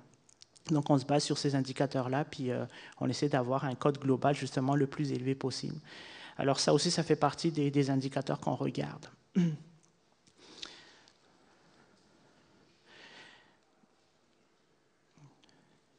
Alors si on a des... Je vais terminer cette section-là par rapport justement à quelques exemples d'indicateurs au format tableau de bord. Donc on a un tableau de bord dans les tableaux de bord, on retrouve principalement donc les catégories. Donc c'est un peu petit, mais tout, tout, pour dire, dans la catégorie, par exemple, on a le Centre des sciences de Montréal, fréquentation, visiteurs individuels, IMAX, Expo, etc., les taux d'occupation, etc. Puis on a la définition, donc il y a toujours une définition dans le tableau de bord pour permettre à n'importe quelle personne qui regarderait ces indicateurs de situer pour dire sur quoi on se base ou de quel, euh, euh, comment est-ce que cet indicateur a été euh, défini. On a la fréquence, donc est-ce que c'est un indicateur qui est mensuel, qui est hebdomadaire, qui est annuel? Nous avons la source de données, donc d'où proviennent les indicateurs? Puis ici, c'est important de le mentionner parce que, euh, comme je vous avais dit depuis le départ, les indicateurs, en fait, c'est un peu le fruit de travail de tout le monde et c'est un peu tout le monde qui alimente les indicateurs. Nous, au niveau marketing, on est principalement là, pour centraliser les données puis sortir les résultats par la suite mais les données brutes, en fait, ou les données primaires ou secondaires sont générées par d'autres intervenants. Et nous, on doit s'assurer au marketing, justement, de faire euh, cette euh, courroie de transmission avec les intervenants. Donc, on indique la source. Euh, la responsabilité aussi, c'est-à-dire qui est responsable de sortir les données. ça, c'est important de le savoir parce que ça permet aussi de donner l'imputabilité des intervenants dans le processus. Ça, c'est très important parce que euh, ça permet de cibler tout de suite, d'une certaine manière, des défaillances ou des lacunes éventuelles sur les transmissions de données. évidemment, les unités euh, à l'intérieur, ça c'est plus euh, pour usage interne, donc qui est chargé en fait de sortir en termes de, direction, qui est chargé de, de, nous envoyer les données. Alors, qu'est-ce que ça donne en fait? C'est qu'on a toujours la performance, par exemple, du mois courant, donc, euh, par exemple, ici, on a 2010-2011. Si on prend le, premier, euh, le premier qui est donné, qui est la fréquentation globale en nombre de billets, on a l'objectif annuel qui est fixé, qui est ici de 695 000 billets vendus. Donc, on a la performance du mois d'août, euh, mois d'avril plutôt, 2010-2011. On le compare par rapport à l'année dernière avec un pourcentage de variation, puis on a le cumul en fait jusqu'au mois courant. Donc, c'est comme ça que ça se présente, en fait, nos différents indicateurs au niveau des tableaux de bord. Les formats pour analyse, donc ça, c'est des formats un peu plus graphiques euh, et qui permettent, en fait, de Euh, c'est un format qu'on diffuse beaucoup au niveau des gestionnaires s'ils veulent avoir un portrait, par exemple, de, des différents indicateurs. Ici, j'ai mis principalement l'achalandage du site Internet du Centre des sciences, mensuel de 2009-2010, mais ça permet en fait d'alimenter les discussions pour, pour des fins d'analyse ou des fins de planification. Donc après ça, il y a des, au niveau du marketing, évidemment, on sort euh, un certain nombre de constats ou un certain nombre de, de recommandations aussi éventuellement à l'occasion. Euh, mais ça permet d'orienter aussi tout de suite tout ce qui est euh, discussion au niveau des comités de gestion, les comités de planification. Alors ici, par exemple, si on regarde le site web du Centre des sciences, on constate qu'il a été euh, consulté par 62% de la clientèle qui est venue chez nous. Ça, c'est à travers les, les, études au niveau, de, au niveau de, du public cible qu'on a réalisé ce genre de, de pourcentage. Et on le compare toujours parce qu'on a un certain nombre de données depuis 2006 euh, jusqu'à maintenant. Donc ça nous permet aussi de comparer vraiment sur une période un peu plus longue que juste euh, l'année dernière. Ça, c'est important aussi au niveau des indicateurs. Donc, plus on a des données historiques, plus après ça, on peut se livrer aussi à des exercices de tendance ou des exercices prévisionnels. Euh, puis, je vais revenir un peu plus tard sur ce point-là parce que ça permet aussi, on est vraiment au début, je vous dirais, du processus d'intégration, mais l'autre phase serait de d'aboutir à des indicateurs qui nous permettraient de faire des prévisions ou des projections dans le temps. Un autre type d'exemple, euh, évidemment, au niveau des, euh, des, provenances. Donc, on fait ce qu'on appelle des analyses géomarketing qui nous permet en fait de savoir euh, de quelle région, de quelle municipalité, de quel, de quel arrondissement viendraient nos visiteurs. L'avantage de ça, en fait, évidemment, ici, c'est purement marketing, c'est vraiment d'orienter nos actions de communication. En même temps, ça nous permet aussi de savoir, euh, comme je vous avais dit tout à l'heure, euh, l'histoire de, la langue. On voit par exemple ici que euh, la plupart de la clientèle, c'est des clientèles qui viennent du Québec, donc francophones. Donc on a très peu, par exemple, de clientèle qui viennent des régions de la province autres que le Québec et encore moins de la clientèle qui vient des États-Unis. Donc ça explique en fait d'une certaine manière notre, notre positionnement en, en tant qu'institution culturelle et muséale qui s'adresse plus à une clientèle francophone qu'une clientèle anglophone. Et encore là, au niveau du marketing, donc, nous, on sort un certain nombre de recommandations qui alimentent en fait les planifications par la suite. Pour finir, il y a ce qu'on appelle les, euh, les, indicateurs, mais dans un format de diffusion. C'est dans ce format-là, en fait, qu'on envoie l'information, notamment au bureau de vérification générale. Donc, c'est plus graphique. On retrouve ici, par exemple, les fréquentations au niveau de IMAX, au niveau des expositions, sur une base euh, mensuelle ou sur une base euh, hebdomadaire.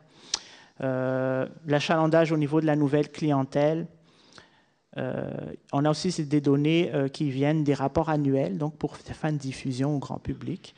Donc on retrouve par exemple l'achalandage total du Centre des sciences de Montréal comparé à l'année dernière, des revenus de programmation. Donc on retrouve ici des indicateurs plus euh, comptables et financiers. L'appréciation, comme je vous avais dit tout à l'heure, donc on a une dimension très importante au niveau de cet aspect d'expérience de visite qui se traduit ici notamment par euh, par des taux d'appréciation au niveau général de la visite.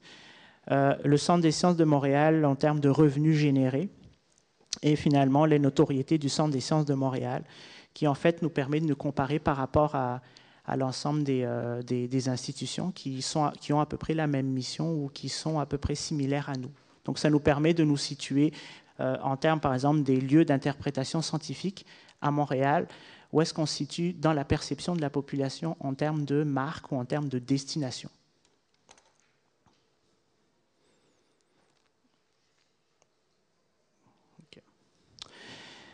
Euh, pour terminer, en fait, ma présentation, donc moi j'ai mis euh, trois études de cas très concrets qui permettent de voir comment est-ce qu'on intègre tous ces différents résultats, ces différents indicateurs-là dans la gestion quotidienne ou euh, la planification au niveau du centre des sciences. Alors, au niveau du première étude de cas, en fait, c'est mesurer la performance d'une exposition. Alors, pour mesurer la performance d'une exposition, on part d'abord des euh, qu'est-ce qu'on a en termes de données disponibles. Donc, il y a les comptages systématiques par infrarouge qui permettent de savoir le flux de visiteurs et de savoir justement euh, à l'intérieur même du Centre des sciences de Montréal qui compte à peu près une dizaine de salles différentes une exposition qui, se trouve dans une de ces salles-là, comment est-ce qu'on arrive en fait à capturer les visiteurs à l'intérieur de, lors de leur visite pour cette exposition en particulier. Après ça, on a les données évidemment de la billetterie. Donc, comme je vous avais dit tout à l'heure, on a un système de billetterie qui permet de rendre compte justement de qu'est-ce qu'on a acheté, qu'est-ce que les visiteurs ont acheté en termes de produits, en termes d'expérience. On a au niveau des finances qui, eux, génèrent des rapports de revenus. Euh, on a aussi les sondages spécifiques donc auprès de la clientèle pour chacune des expositions qui se passent au Centre des sciences de Montréal.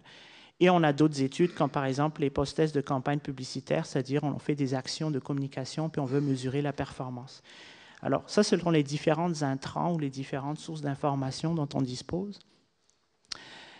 Au niveau de direction marketing, donc évidemment, ce qu'on va sortir, c'est le nombre de passages, temps moyen passé dans les salles, les budgets de recherche qui sont reliés à l'exposition en particulier, donc c'est-à-dire l'argent qu'on dépense pour aller justement faire des recherches ou faire des sondages auprès de, la clientèle. Puis il y a évidemment le budget média ou le budget de communication qui est alloué pour promouvoir l'activité. Cela donne évidemment les fréquentations en termes de billets, euh, avec une ventilation de la clientèle, groupe et individuelle, mais en même temps, ça nous donne aussi les revenus générés par l'exposition, plus les revenus générés par les activités connexes. Donc, comme je vous avais dit, lorsque la clientèle vient au Centre des sciences de Montréal, oui, effectivement, ils viennent par exemple pour une exposition, mais il y a d'autres activités qu'ils font durant leur visite, puisqu'ils restent en moyenne entre une heure et demie et deux heures. Puis pour les groupes, c'est trois à quatre heures. Donc, il y a d'autres activités qu'ils font, qui peuvent être des activités qui génèrent des revenus également. Donc, toutes ces données-là sont intégrées dans le tableau de bord et ça nous donne en fait d'une certaine manière aussi le budget total alloué à l'exposition et ça donne un certain nombre d'indicateurs qui après ça sont euh, communiqués euh, au niveau des, euh, des, instances opérationnelles ou des instances des gestionnaires qui s'occupent justement du, du, de l'exposition. Donc on retrouve ici par exemple le ratio investissement marketing revenu. Ça c'est juste au niveau du département marketing, c'est de savoir si l'exposition a été euh, une bonne opération en termes euh, d'investissement par rapport à ce qu'il a rapporté, euh, par exemple en termes de revenus. On a le ratio du coût, marketing par achalandage. C'est tout simplement de se dire combien a coûté de faire venir chaque visiteur pour l'exposition. Évidemment, plus ce ratio est bas, plus c'est intéressant pour nous parce que ça veut dire qu'on a fait venir plus de monde que ce qu'on a dépensé pour les faire venir. Euh, le, ratio de revenu moyen par personne, euh, le pourcentage de fréquentation de l'exposition euh, par rapport à la fréquentation totale. Donc, il y a le Centre des sciences pour la période concernée, par exemple, qui a eu, je ne sais pas moi, 300 000 visiteurs. Puis là-dedans, que représente en fait le poids de l'exposition de manière spécifique? On a les taux de pénétration de nos marchés cibles. Comme, je vous avais dit tout à l'heure, on a des marchés géographiques qui sont délimités mais en même temps aussi, on a les types de clientèle. Donc, la clientèle anglophone, la clientèle familiale, la clientèle des jeunes de 9-14, etc. Il y a aussi le nombre d'inscriptions à la fondation. Donc, ça, c'est important parce qu'on a une fondation au Centre des sciences de Montréal. Et euh, quand on a des activités ou des expositions d'envergure, généralement, on arrive à attirer une nouvelle clientèle qui va, après ça, s'inscrire au niveau de la fondation. Après ça, on a le, classement de l'exposition par rapport à l'offre régionale. Donc, euh, lorsqu'on a eu par exemple l'exposition Le Monde du Corps 2 ou Body World, qui était de, qui était de passage à Montréal et qu'on a, qu'on a accueilli chez nous, on a réussi par exemple à aller chercher une augmentation d'à peu près 20 à 30% de la clientèle euh, anglophone ou la clientèle à l'extérieur du Québec. Ça c'est intéressant parce que ça veut dire que on est quand même capable d'attirer une clientèle qui n'est pas la clientèle habituelle, mais pour ça, ça prend peut-être des expositions avec des thématiques ou une envergure un peu plus large que ce qu'on a l'habitude d'offrir habituellement.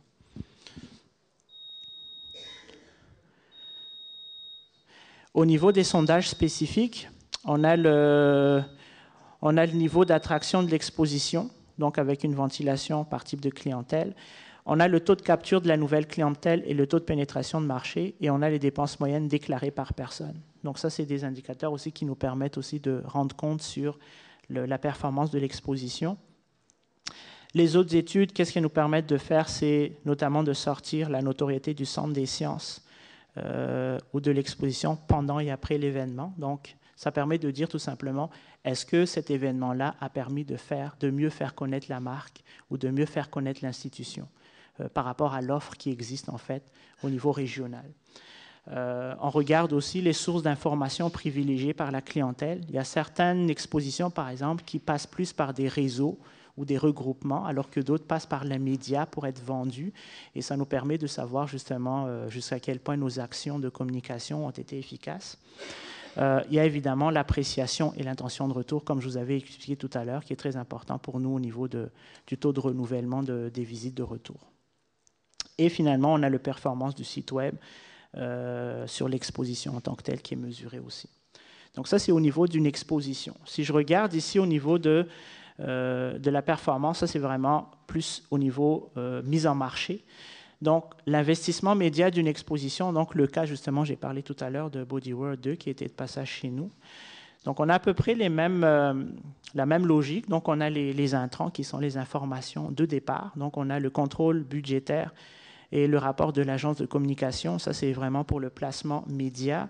On a les directions de vente euh, et de les finances, euh, les plans médias, plans de communication et les études sur la clientèle qui permettent en fait de sortir en termes de chiffres ce que ça représente en termes de, de, de, de, performance. Donc ici, par exemple, on sait que le budget média qu'on a dépensé était de, aux alentours de 680 000 dollars. Euh, on a eu euh, des fréquentations, un achalandage de 372 000 personnes sur une période d'à peu près euh, 4 mois, si je me souviens bien. Et on a des revenus de 7,5 millions. Ça, c'est un événement. En fait, euh, c'est vraiment en fait une, exposition d'envergure chez nous. Alors, combiné à ça, on a les budgets de recherche qui sont attribués justement pour aller chercher les données auprès de la clientèle de 20 000 dollars, puis les budgets alloués supplémentaires en fait qui étaient alloués pour, pour supporter la promotion euh, de, de l'événement. Et qu'on a un budget total au niveau marketing de presque 1 million de dollars. Alors, quand on regarde au niveau des, des indicateurs qui en sont ressortis. Donc, on a un ratio investissement marketing de 12% ce qui est relativement euh, bien performant puisque nos valeurs cibles euh, étaient de 15% euh, habituellement.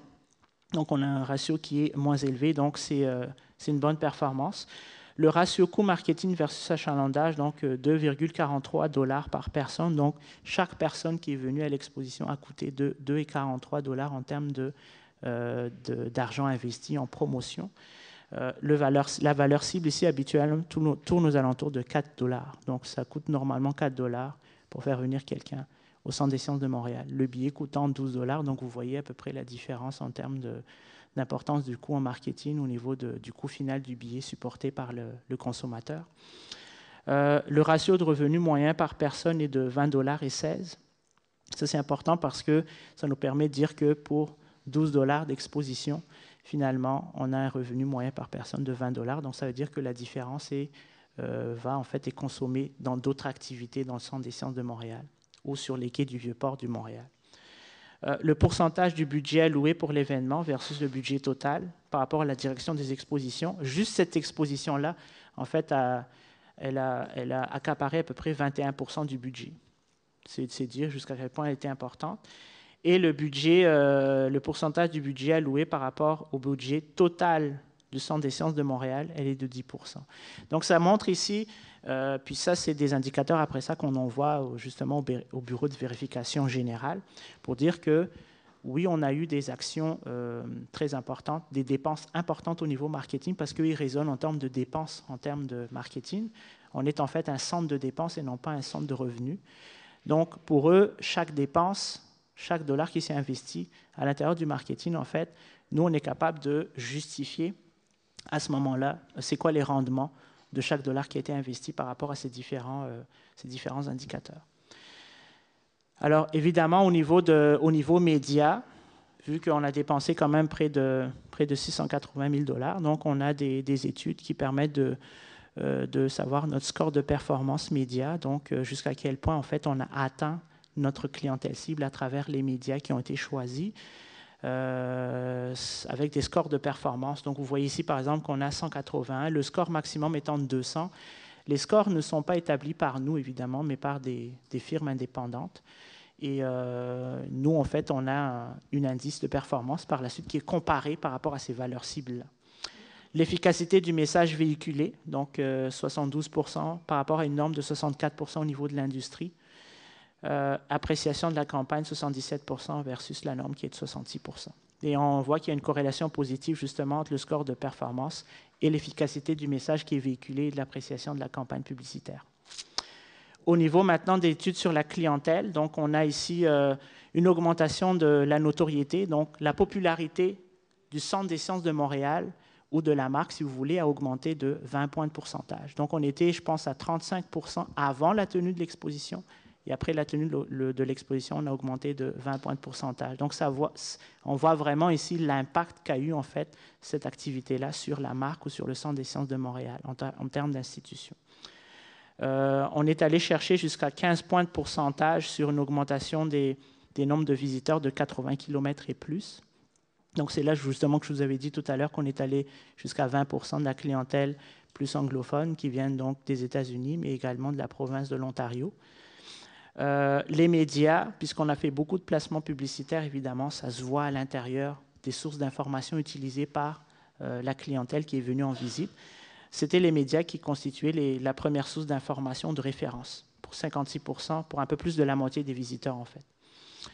Et euh, évidemment, il y a eu un très fort impact sur la décision de visite. Donc ce qu'ils ont vu, lu ou entendu sur l'exposition, ça les a incités fortement à venir visiter l'exposition en tant que telle.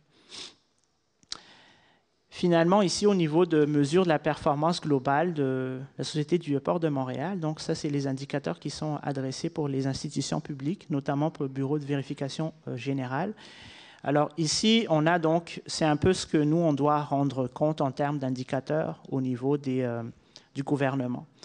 Donc, c'est un peu petit, mais en tout cas, tout ça pour vous revenir que, en fait, on a rattaché, on a les objectifs, tout en haut, on a les objectifs généraux de la Société du Vieux-Port de Montréal, comme par exemple sauvegarder et promouvoir le patrimoine culturel canadien, maintenir certaines fonctions portuaires qui conviennent dans un environnement urbain historique, contribuer aux efforts de développement économique, améliorer les conditions de vie urbaine et faciliter l'accès du public au bord de l'eau dans les limites imposées par la présence du port de Montréal, parce qu'en fait, nous, on partage en fait l'espace avec le port de Montréal, qui est le port commercial. Donc, euh, il y a des bateaux qui viennent pour décharger de marchandises. Et euh, on a aussi les croisières qui viennent en fait euh, chez nous. Et on, partage l'espace avec le port de Montréal. Donc, il y a l'espace qui est partagé avec eux, évidemment, qu'on ne peut pas exploiter avec nos activités récréo-touristiques, mais sinon, le reste, en fait, on le gère évidemment manifester de façon dynamique la présence fédérale. Donc ça, ce sont les objectifs généraux, puis évidemment, ces objectifs-là sont euh, ventilés par la suite par des objectifs qui sont un peu plus spécifiques. Et tout le bloc de la première partie, en fait, que vous trouvez euh, à l'extrême gauche, qui touche plus particulièrement le Centre des sciences de Montréal. Donc, on sait à qui s'adressent ces indicateurs-là, donc au grand public, au milieu de l'éducation, aux entreprises, aux touristes, mais en même temps, évidemment aux institutions euh, gouvernementales. Donc là-dessus, on a un certain nombre d'indicateurs comme le nombre, et liste des activités culturelles et éducatives, donc combien d'activités culturelles et éducatives on a fait pendant l'année, euh, la fréquentation de la clientèle scolaire, le nombre d'écoles en visite, nombre de comptes jours, nombre d'étudiants par année qui a bénéficié notamment euh, du laboratoire UCAM, c'est-à-dire laboratoire qui, est en fait une salle de formation euh, qui est utilisé par l'Université du Québec à Montréal. Donc, ça, cristallise un peu le lien entre le milieu universitaire et le Centre des sciences de Montréal. Euh, les nombres d'institutions euh, canadiennes, canadiennes ou du Québec qui sont représentées dans les activités ponctuelles comme le Festival de sciences. Donc il y a beaucoup de contributeurs dans ce festival-là qui sont en fait des entreprises privées et savoir compter en fait combien ont participé, ça nous permet aussi de justifier euh, et de répondre à la grande objectif qui est de promouvoir le patrimoine culturel et euh, technologique canadien. Donc ça, c'est au niveau un peu de la présentation euh, sur les mesures de performance que nous, on, a au niveau de, du Centre des sciences de Montréal. Et évidemment, donc, ça, rend compte un peu de ce qu'on fait en termes d'action. Euh, en ce moment en termes d'indicateurs. Évidemment, on se trouve dans une phase, je vous ai dit, on a commencé en 2006-2007, donc on est dans une phase encore, d'après moi, de, conception, d'élaboration, de tests. Euh, il y a beaucoup de choses qui restent à faire, notamment tout ce qui touche l'automatisation, d'aller chercher cette information, parce que c'est quand même un processus qui est relativement assez lourd à gérer. Alors tout ça pour vous dire qu'on on est dans une phase en fait où il y a encore beaucoup de questionnements qui se, posent actuellement, mais que en l'espace de quatre ans, on a quand même réussi à nous doter d'un certain nombre d'éléments qui sont, d'après moi, assez pertinents et qui vont euh, être, euh, utilisés un peu plus longtemps dans le temps en termes d'indicateurs. Voilà. Merci.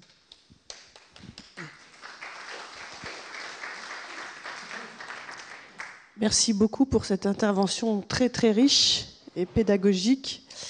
Euh, on ne manquera pas de suivre un petit peu la continuité de ce travail qui nous paraît euh, déjà qui est quand même euh, assez costaud. Alors, des questions, remarques dans la salle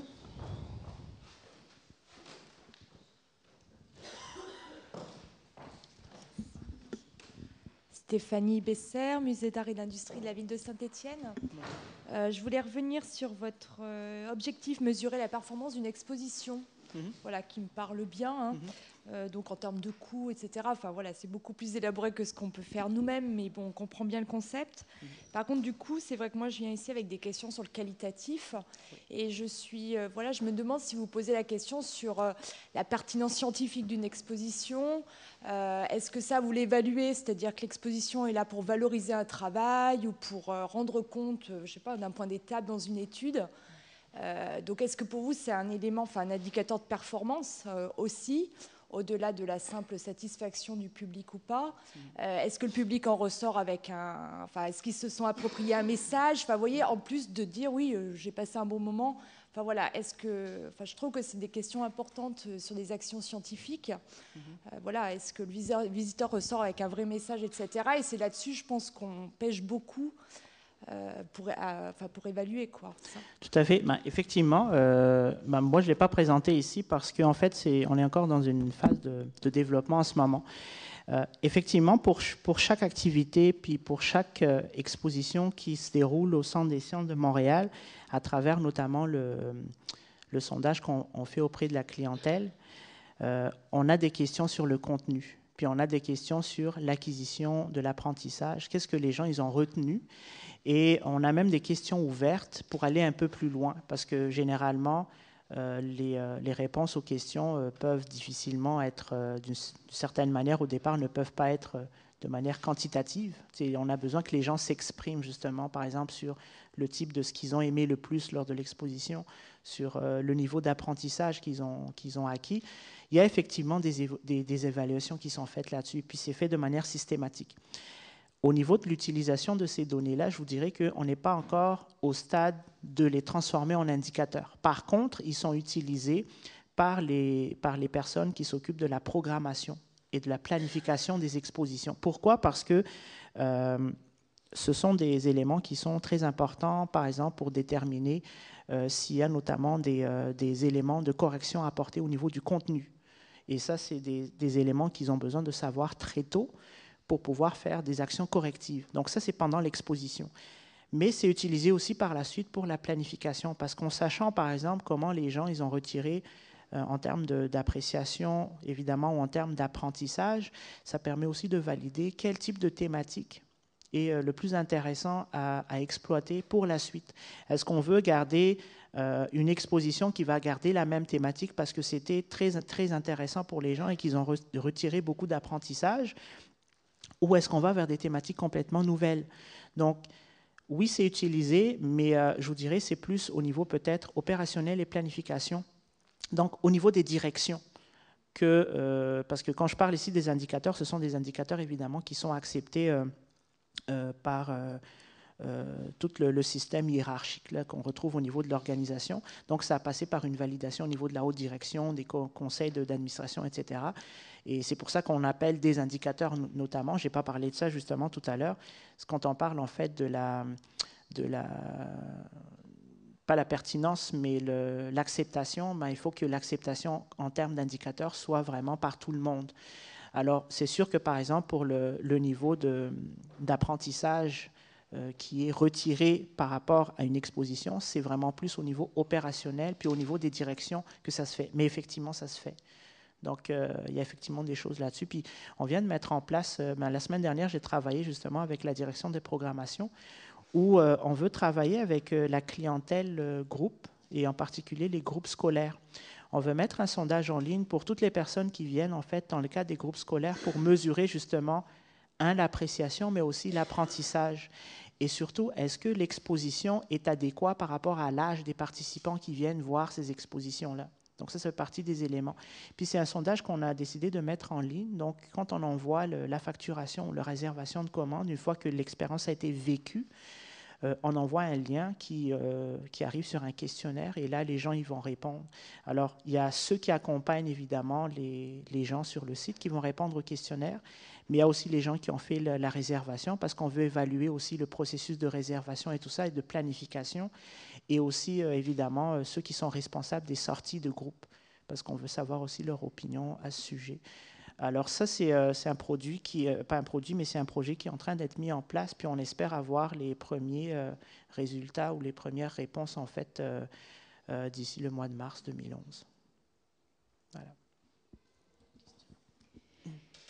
oui, une remarque qui va un peu dans le même sens, c'est-à-dire que D'abord un sentiment, moi je suis assez euh, perturbée de voir appliquer des techniques de, marketing en considérant la culture comme un produit, les mmh. clients, les performances. Bon, c'est peut-être culturel. Je vois tout l'intérêt de ces mmh. outils-là, hein, parce que je pense que structurellement, pour une, une, structure, ça peut permettre justement de, mettre en place des procédures, d'optimiser euh, tout un tas de choses. Mmh. Mais bon, je trouve quand même qu'intellectuellement, il y a, pour moi, il y a, il y a, quelque chose qui me choque. Quoi.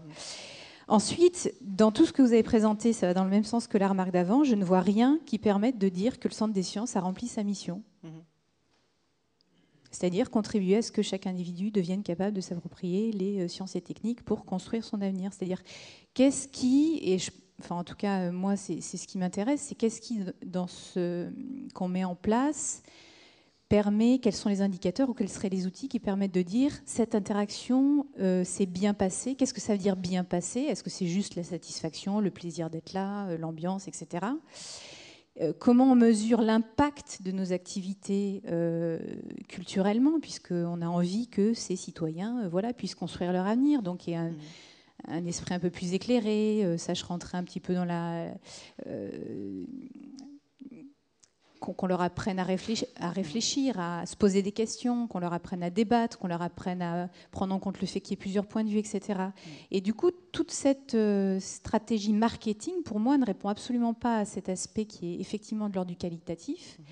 et qui, je pense, pourrait se mesurer aussi avec le même type d'outils. C'est-à-dire que pour moi, mesurer les impacts, ça veut dire de suivre, je, dis n'importe quoi, un enfant aujourd'hui, de le suivre dans 5 ans, de le suivre dans 10 ans, de le suivre dans 20 ans, de savoir quel métier il va faire, de savoir si la visite du centre des sciences a eu, a eu un impact sur son choix décisionnel de vie, de métier, de, euh, de vote citoyen, j'en sais rien. Mais voilà, ce, serait de cet ordre-là euh, qui me semble totalement déconnecté de ces outils qui me semblent très techniques et qui ne répondent pas pour moi à cette mission contribuer euh, à ce que chaque individu se, développe.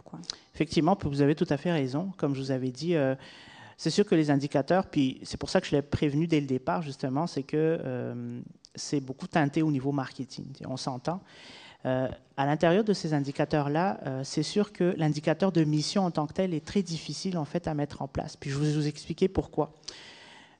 puis un bon exemple, parce qu'on a commencé à faire l'exercice notamment, c'est que on voulait savoir, euh, pour toutes les élèves qui ont visité le Centre des sciences, qui, par exemple, ont décidé de s'orienter vers des euh, études scientifiques.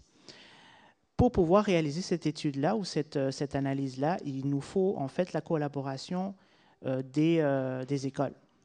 Et là-dessus, ça clash un peu parce qu'on n'a pas réussi à avoir la coopération qu'on voulait pour pouvoir mener à bien cette étude, parce que c'est une question de manque de temps, parce que, etc., etc nous, au niveau de... C'est sûr que l'évaluation de la mission passe beaucoup par des aspects qualitatifs et surtout au niveau de l'acquisition de connaissances ou des, décisions, en fait, qui ont suivi après la visite, qui ont un impact sur l'individu.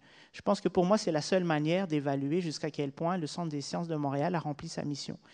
Mais encore une fois, euh, et, je l'ai souligné d'ailleurs, c'est que la participation des intervenants qui va nous permettre d'évaluer et d'aboutir éventuellement à des, indicateurs. Euh, il faut que la volonté soit manifeste autant pour le Centre des sciences de Montréal que par exemple pour le réseau de, l'éducation au Québec.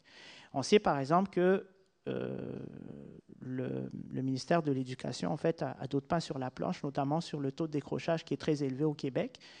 Et donc, nous, on vient avec des demandes ou des requêtes pour dire euh, quel est l'impact, par exemple, d'une institution muséale euh, en termes de développement euh, citoyen ou même en termes de développement en termes dans, le domaine culturel ou scientifique. on passe un peu en dernier point, je dirais, au niveau de, des demandes. on essaie de, de, développer des outils, puis je pense que si c'était une personne qui était plus au niveau de la programmation de santé sciences qui, qui serait ici ce matin, vous aurez peut-être eu une perception différente, justement, parce qu'eux, ils font beaucoup d'évaluations sur l'apprentissage, sur euh, l'acquisition, donc un peu plus je dirais, sur le qualitatif que moi-même au niveau du marketing. Puis en plus, comme moi, je suis rattaché au niveau de la Société du Vieux-Port de Montréal, qui est un peu l'organe qui est au-dessus de tout ça, euh, c'est sûr que moi, dans ce que je dois rendre compte, en termes d'indicateurs, c'est beaucoup basé sur les demandes et les requêtes que j'ai. Il y a l'autre chose aussi, c'est au niveau culturel. Donc tout à l'heure, vous avez mentionné effectivement que c'est beaucoup de techniques, etc. Euh, beaucoup des chiffres, etc. aussi. Euh, oui, c'est culturel au Québec parce qu'on est beaucoup teinté sur la façon de faire en Amérique du Nord. En Amérique du Nord, en fait, c'est très euh, orienté, je vous dirais, même dans le domaine culturel, puis au niveau des jargons utilisés dans l'industrie. Euh, les clientèles muséales, on parle de clientèle en termes de marché, on, parle de produits, etc. Et en fait, c'est vraiment euh, issu de cette culture en fait qui est plus, euh, je dirais, capitaliste en termes d'approche et de processus. Donc c'est sûr que nous, on est teinté puis on est dans ce contexte, puis on vit avec ça. Par contre, ce qu'on essaie de faire, puis c'est là-dessus un peu que qu'on est beaucoup en train de travailler, c'est que on fait beaucoup de, par exemple, des groupes de discussion avec la clientèle, euh, euh, par exemple les jeunes, qui constituent en fait une grosse partie de notre clientèle, pour savoir notamment, euh, oui, à l'acquisition de connaissances, mais il y a aussi qu'est-ce qu'eux, ils veulent qu'on aborde comme sujet de société, pour qu'on puisse éventuellement le transférer en termes ou le transformer en termes de thématiques d'exposition. Donc, il y a par exemple ce qu'on appelle l'activité qui se tient, qui s'appelle les grands débatteurs, qui, euh, en fait, c'est des, euh, des, jeunes, en fait, qui, sont, qui ont entre 9 et 14 ans et qui débattent sur un sujet en particulier, donc un sujet de société, comme le réchauffement climatique. Donc, il y a un débat qui est animé là-dessus. Et puis, il y, a, il y, a, des observations qui sont faites durant l'activité. Il y a des sondages qui sont transmis aux participants. Puis, toutes ces données-là, après ça, sont ramassées par l'équipe de programmation qui, elle, va faire une analyse avec éventuellement euh, l'appui, par exemple, des experts dans, la domaine, dans le domaine ou des gens qui sont des... Euh, euh, en tout cas qui ont, qui ont des, connaissances particulières sur la thématique. Et ça permet en fait de déterminer, un, de savoir l'intérêt généré au niveau de la thématique. Ça permet de savoir aussi si ce genre d'activité-là est apprécié par les jeunes et de savoir jusqu'à quel point les jeunes participent au sein même de l'activité. Donc ça permet d'avoir un petit peu cet aspect plus qualitatif que nous, malheureusement, on n'a pas encore euh, euh, retranscrit, en tout cas au niveau de nos indicateurs tels que je vous ai présentés tout à l'heure. Donc on est tout à fait conscient que, effectivement, euh, bon, à part l'histoire de la, culture en termes d'approche plus marketing, il y a effectivement cet aspect qualitatif-là qui n'est pas encore retranscrit dans nos indicateurs. Mais par contre, au niveau de, l'équipe de programmation qui est plus proche du terrain et de la conception des expositions, c'est déjà un outil qui est utilisé. Mais c'est un outil qui est utilisé à leur niveau. C'est juste ça la différence en fait.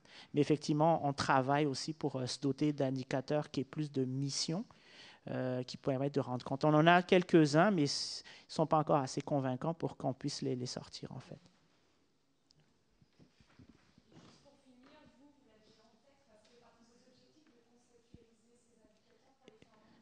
Exactement, tout à fait.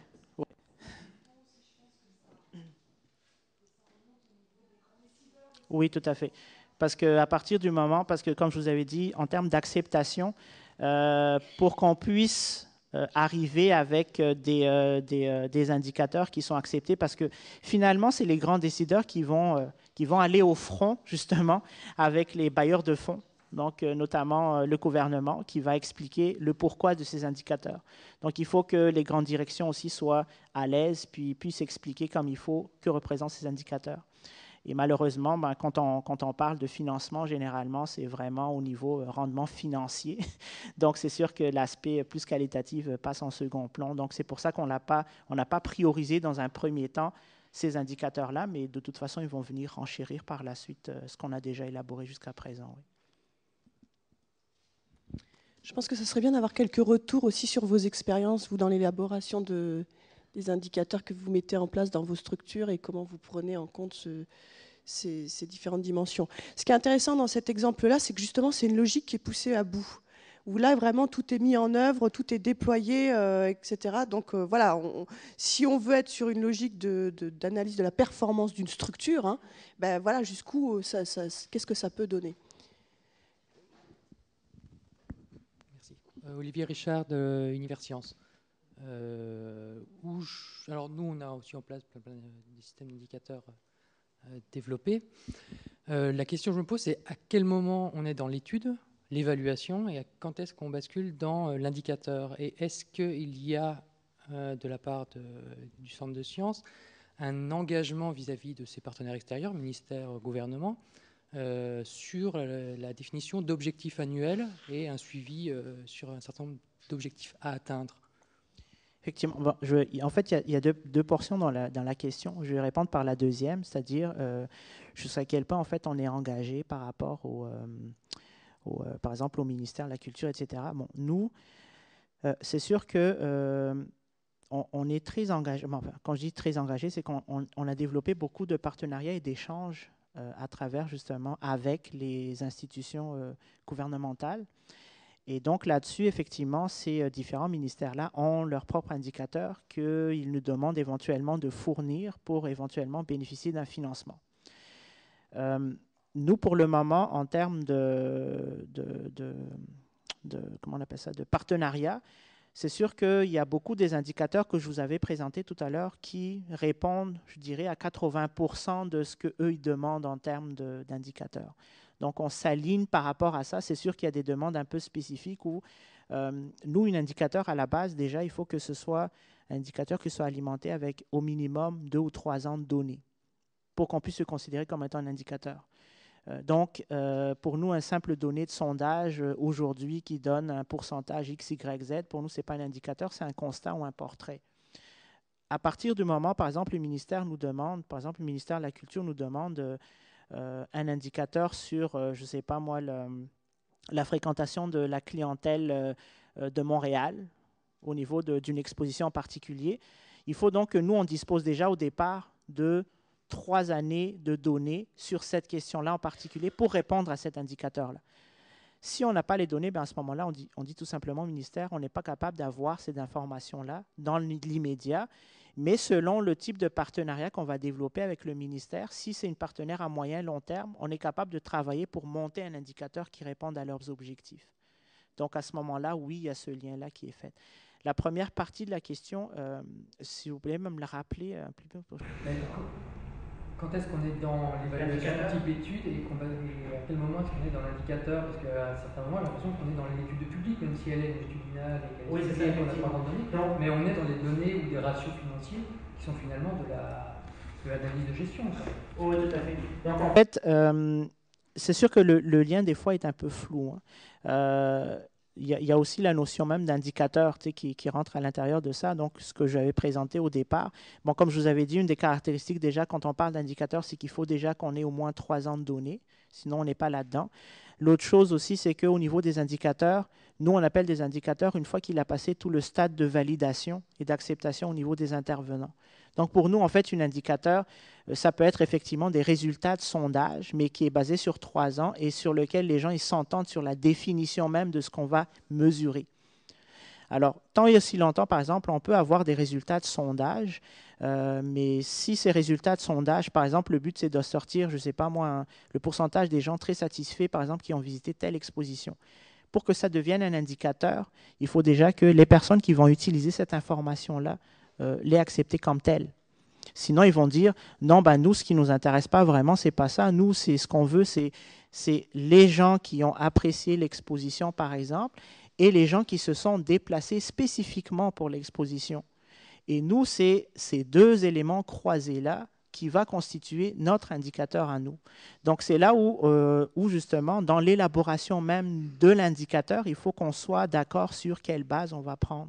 Donc effectivement, vous, voyez, puis euh, c'est pas que c'est intentionnel, mais dans la manière, comme je vous ai dit, on est, on est dans une phase de construction en ce moment, donc il y a beaucoup de choses qu'on est encore en train d'évaluer, de mesurer. Euh, mais c'est sûr que dans l'approche que nous, on, a, euh, il y a un certain nombre de choses. Quand on bascule dans un indicateur, c'est qu'il y a déjà des étapes préliminaires qui ont été remplies, d'une certaine manière. Puis tant que ces étapes-là ne sont pas, achevées ou complétées, on ne peut pas parler encore d'indicateur. Ça.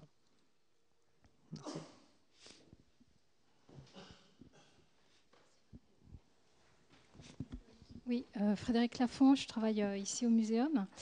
Euh, j'ai le sentiment quand même, euh, enfin peut-être ça ne sera pas partagé euh, par vous, que quand on demande une mise en place d'indicateurs, on retient surtout ceux qui sont susceptibles de progresser, ce qui est normal puisque on dit indicateur de performance. Mhm. Donc, mais il y a quand même des indicateurs intéressants qui ne progressent pas, mhm. ou c'est pas parce qu'ils progressent pas qu'ils ne sont pas un résultat en soi. Et donc, euh, moi, je trouve que dans la culture, enfin, dans, la demande qui est faite actuellement, il y a, cette non prise en compte, finalement, euh, d'indicateurs qui ne progressent pas. Alors, je ne sais pas, euh, je peux donner, par exemple, je sais pas, un, niveau de fréquentation qui. On attend toujours de, de, la fréquentation qu'elle progresse, naturellement. Mais une fréquentation qui progresse, qui ne progresse pas, elle s'explique euh, parce qu'il y a eu moins de programmation, il y a eu moins de superficie. Enfin, ma question, c'est euh, à partir de quand un indicateur est intéressant euh, dans la mesure où il intègre plusieurs données? C'est-à-dire que quand, par exemple, je dois donner des indicateurs de fréquentation, j'ai toujours besoin d'un astérix, c'est-à-dire, euh, attendez, là, d'accord, on a baissé, mais parce que, parce que, parce que, mm. parce que. Et finalement, ce parce que, parce que, parce que, ça peut se chiffrer aussi, c'est-à-dire mm. qu'on peut intégrer, je ne sais pas, euh, euh, des, données comme la fermeture, des jours de fermeture, par exemple, ou une moindre programmation. Donc, à, partir de quand un indicateur euh, est, finalement est constitué et, de combien de chiffres pour être intéressant? C'est-à-dire finalement avec une fréquentation qui baisserait d'une année sur l'autre, si on tient compte, je ne sais pas, du nombre de jours d'ouverture, de la superficie, euh, de, du nombre de jours de grève dans l'année où les, les, transports étaient, etc., finalement on arriverait à une fréquentation constante, euh, mmh. voire peut-être en progression.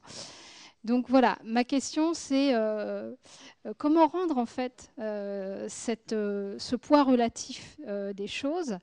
Et aussi bah, parce que on a des objectifs en termes de je sais pas primo visiteurs. Qu'est-ce que ça veut dire de faire croître le taux de primo visiteurs dans un musée si on, on, le on l'illustre pas en fait? Et donc mon sentiment en tout cas il, est celui-là. De pondérer en fait les données et jusqu'où on les pondère? Parce que parce que c'est sans fin. Exactement. Euh, en fait, vous, vous touchez là un, point qui, euh, qui, qui, explique en fait pour moi pour imager tout ça pourquoi je passe euh, au lieu de passer deux heures sur les indicateurs, j'en passe 13. C'est parce que quand on a des indicateurs, évidemment, et qu'on voit, surtout quand on a des, des, des indicateurs qui évoluent, qui a des, performances qui sont négatives, on doit justifier le pourquoi ou trouver des explications sur le pourquoi. Alors si par exemple on prend, puisqu'on parle de la fréquentation, euh, bon déjà, euh, pour se dire pourquoi on fait toujours évoluer ou pourquoi on, mesure, on fait des prévisions qui, euh, qui estiment par exemple un pourcentage d'augmentation. Le pourcentage d'augmentation qui est apporté pour une fréquentation, en tout cas pour moi, d'abord il, vient du fait si effectivement on se trouve par exemple dans un dans, dans une marché géographique qui permet cette progression. Donc on peut très bien se trouver dans un marché géographique où finalement on se dit, ben, il ne faut pas s'attendre à une, progression, l'objectif c'est un maintien de la fréquentation. Ce n'est pas d'arriver avec des progressions où on dit, bon, ben, on va augmenter de 2 à 3% à chaque année, parce que ce n'est pas réaliste. Donc, ça prend d'intégrer justement cette connaissance un petit peu de l'industrie, cette connaissance, puis ça peut aller très large, hein, euh, pour justifier justement comment est-ce qu'on peut alimenter ou, si vous voulez, rendre crédible en fait un indicateur, surtout quand on parle de progression dans le temps. Maintenant, quand on parle de justifier pourquoi un indicateur en tant que tel, il faudrait le pondérer, effectivement, nous, on procède des fois à des pondérations. Parce que, euh, en, reprenant l'exemple de la, de, de la, fréquentation, entre euh, lorsqu'on a eu l'exposition Le Monde du Corps 2 et l'année qui suit d'après, euh, c'est sûr qu'on a une baisse de 35 fait qu'avoir une baisse de 35% en termes de fréquentation, puis tu envoies ça en fait au, au, bureau de vérification générale, ça passe mal. Si tu n'expliques pas le pourquoi.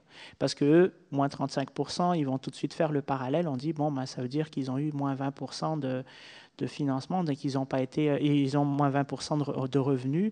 Donc ça veut dire qu'ils ont été moins performants. Donc on va peut-être réduire le, budget qui va leur être alloué parce qu'ils ont mal géré l'argent qui a été euh, dépensé. Donc, c'est sûr qu'il y a effectivement euh, cette, volonté que nous, on a en tout cas au niveau des, indicateurs d'essayer de, les documenter ou de les analyser. Le problème qu'il y a actuellement, c'est que en termes de ressources, comme je vous ai dit, je suis en fait le seul qui s'occupe principalement des indicateurs. Fait que sortir déjà à peu près 65 euh, indicateurs mensuellement, puis essayer d'expliquer ou de valider chacun de ces indicateurs pour donner justement la raison des variations, ça prend trois, quatre fois plus de temps. En fait, ça prend, ça prend en fait une poste permanente en plus, juste pour faire les analyses, essayer de documenter les, les écarts ou les évolutions au niveau des, performances. Euh, par contre, c'est que quand on sort des, données stratégiques comme la fréquentation, qui se retrouvent après ça sur la place publique, dans les communiqués de presse, euh, à travers nos réseaux de partenaires, il faut effectivement que l'on donne toujours les fameux astérisques à côté pour expliquer le pourquoi. Et euh, on essaie, dans la mesure du possible, en fait, d'être assez, d'être assez large dans les explications, puis d'aller chercher en fait des, éléments de réponse qui viennent de nos partenaires ou des regroupements. Donc, par exemple, une baisse de la fréquentation euh, des institutions muséales qu'on a eues en 2009-2010. entre autres, moi, j'ai pu l'expliquer, notamment parce que le, regroupement pour les, les, les, attractions touristiques de Québec m'ont fourni un certain nombre de chiffres pour dire notamment que finalement, on n'était pas les seuls qui ont eu ce genre de baisse. Dans les autres institutions, on l'a eu aussi. Euh, en plus de ça, nous, on peut regarder aussi au niveau de la programmation à l'interne. Donc, c'est sûr qu'entre l'année où on a eu le monde du corps 2, puis par la suite, on a eu une exposition qui est beaucoup d'envergure, beaucoup moindre, ça a eu un effet. Donc, ça permet en fait de pondérer un petit peu. En effet, vous avez raison au niveau de, des résultats qui sont, euh, qui sont affichés. Mais en même temps, c'est aussi un travail de longue haleine de, vraiment, euh, de vraiment en fait, documenter les écarts au niveau des, indicateurs. Parce que dans certains cas, il y en a certains qui sont plus stratégiques que d'autres. Puis, euh, en fait, le problème des indicateurs, ce n'est pas vraiment les indicateurs, c'est l'interprétation qu'on en fait par la suite. Et malheureusement, les gens ne partagent pas forcément les mêmes interprétations. Alors, si on ne donne pas les balises pour, pour qu'ils aient la bonne interprétation, ça peut partir dans tous les sens. Et nous, on s'est déjà retrouvés sur la place publique, justement, pour expliquer euh, des variations comme ça, qui n'ont pas été forcément euh, des interprétations, plutôt qui ont été des interprétations fausses, mais sur lesquelles on a été obligé de réagir sur la place publique pour corriger le tir. Donc, c'est déjà arrivé. Peut-être juste une, euh, un complément par rapport à ça. Je trouve que les indicateurs, effectivement, c'est quelque chose de très très chouette puisque c'est des guides, mais c'est également très très dangereux. Mm. Et comme vous le disiez, c'est euh, pour moi un indicateur, il prend tout son sens quand il est replacé dans son contexte mm. et il sert également justement à faire un peu la lumière sur le contexte dans lequel on travaille. Mm. Alors si on s'accorde, on va prendre un petit exemple pour dire que euh, un taux de primo-visiteur, ou je ne sais pas comment vous, vous l'aviez appelé dans vos, dans vos schémas, c'est un, indicateur. Bah, l'indicateur. Cet indicateur-là de primo-visiteur chez, chez Universcience ne sera évidemment pas du tout le même qu'au muséum ce ne sera pas du tout le même que chez nous. Et mm. pour autant, il aura à chaque fois une valeur qu'on pourra nous interpréter. Et ce n'est mm. pas en les comparant qu'on donnera cette valeur. Donc c'est vraiment le, placer dans ce contexte qui, pour moi, donne tout son sens et qui va autant aider à l'avenir, à aller mm-hmm. vers l'avant, que euh, l'analyse de ce qu'on est aujourd'hui et vers où on veut aller. Effectivement. Puis de toute façon, euh, pour, euh, pour compléter un peu ce que vous dites, c'est qu'au niveau de l'interprétation en tant que telle, c'est sûr que l'approche que nous, on a pris au niveau de des indicateurs, comme je vous avais dit au départ, nous, euh, on a pris en fait des indicateurs qui existaient déjà ailleurs, qu'on a adapté à notre cas. Mais en fait, les indicateurs, puis ça c'est aussi très important, c'est des indicateurs qui sont en fait adaptés pour chaque institution. Donc même si c'est une institution qui a la même mission, qui propose les mêmes, euh, les mêmes expériences, euh, il y a toujours quelque chose qui fait qu'un indicateur ne sera jamais similaire d'une institution à une autre, et encore moins au sein d'une industrie. Donc c'est pour ça, par exemple, qu'au niveau des regroupements, puis au niveau des associations qui compilent des données, qui font des sondages auprès des membres ou des adhérents, on retrouve en fait très peu d'indicateurs qu'on peut retrouver qui sont en fait fédérateurs d'une certaine manière, parce que chaque institution, puis chaque organisme, en fait, a euh, un contexte particulier qui fait que l'interprétation en tant que telle qu'on peut apporter par rapport à ça est très difficile, parce que c'est très hétéroclite comme, euh, comme type de... Même si on parle du même indicateur à la base en termes de, de, logique, ben, il y a toujours cette espèce de... De, comment on appelle ça, de, contexte particulier qui est adapté qui, pour chacune des institutions, qui fait que c'est très difficile. C'est pour ça que d'ailleurs, au Québec, l'Observatoire de la culture, en fait, euh, qui fait la collecte des informations au niveau de toutes les institutions muséales, euh, ils ont un questionnaire, puis c'est des questionnaires, quand on regarde en fait au niveau des questions, finalement, c'est des questions qui, qui restent très euh, génériques. Parce que c'est des questions que n'importe quelle institution muséale peut répondre et sur lesquelles, quand eux, ils vont faire une interprétation, c'est une interprétation qui va être généralement partagée parce qu'on parle à peu près de la même chose. Mais il n'y a jamais de questions spécifiques à l'intérieur de ces, de ces questionnaires-là. Et ça vient rendre compte, en fait, de, ce que vous me dites, effectivement.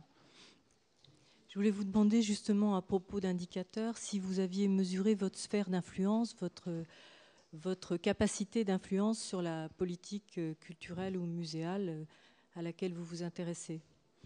Euh, en fait, je, pourrais vous répondre, mais la meilleure personne pour répondre, en fait, ça va être peut-être plus euh, le vice-président qui s'occupe du Centre des sciences de Montréal, parce que c'est lui qui agit plus au niveau des hautes sphères sur ce Vous émettez peut-être des recommandations? Oui, effectivement. Donc, nous, au niveau des indicateurs, effectivement, quand je fais les analyses et quand je sors les rapports, je sors des, des constats, des recommandations, des, un certain nombre de, points d'amélioration, etc. Euh, jusqu'à quel point ça a une influence sur euh, les partenaires de haut niveau qu'on a, euh, je ne pourrais pas vous le dire, mais par contre, je sais que compte tenu du poids que l'on a au niveau de l'industrie, en particulier à Montréal, c'est sûr que par exemple, au sein de la société, de, société des musées à Montréal, le Centre des sciences a un impact particulier dans le sens que si, par exemple, il y a des recommandations qui sont faites par le Centre des sciences de Montréal, il se retrouve généralement toujours dans la liste un peu des requêtes qu'on adresse après ça au ministère euh, de la Culture et de l'Éducation. Donc, moi, en fait, l'impact, si vous voulez, qu'on peut avoir, c'est jusqu'à quel point nos requêtes, qui étaient au début euh, formulées par l'organisme en tant que tel, se retrouvent à travers les organisations qui, après ça, constituent une groupe de pression au niveau des institutions de, décision, comme au niveau des gouvernements, par exemple. Donc, c'est sur ce point-là que je peux voir que oui, effectivement, on a des, impacts. L'autre chose que je peux voir aussi, ça c'est plus à mon niveau, euh, par exemple, lorsqu'il y a des grandes études de grand public qui sont faites par des grandes firmes, euh, sur le, justement les attractions touristiques, euh, ils ont toujours tendance à m'appeler euh, pour savoir si, euh, si telle telle question était pertinente parce que justement à cause du poids qu'on joue en termes d'attraction touristique. Donc par exemple quand ils veulent sortir un rapport sur le, bilan de la saison estivale, ils ont l'habitude de nous appeler avant pour, pour, savoir un peu tâter le pouls pour savoir si comment est-ce qu'on a mesuré, euh, comment est-ce qu'on a on a performé d'une certaine manière pour la saison. Et à ce point-là, je peux dire que oui, effectivement, on a un certain poids puisque ces gens-là, en fait, viennent nous consulter pour avoir nos avis sur la question. C'est peut-être une manière de, répondre, mais...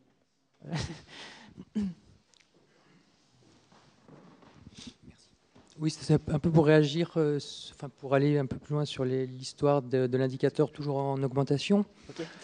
Euh, pour nous, euh, je pense que en fait, ce qui est intéressant dans les indicateurs, c'est bien sûr le suivre de manière permanente, mais il y a une phase qui est, qui est à mon avis essentielle, c'est la définition de l'objectif annuel de euh, la valeur cible.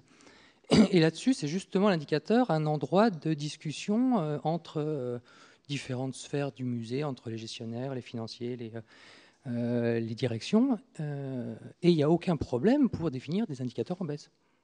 De l'instant, effectivement, c'est beaucoup plus simple de, prévoir une baisse de fréquentation que de la mesurer au jour le jour.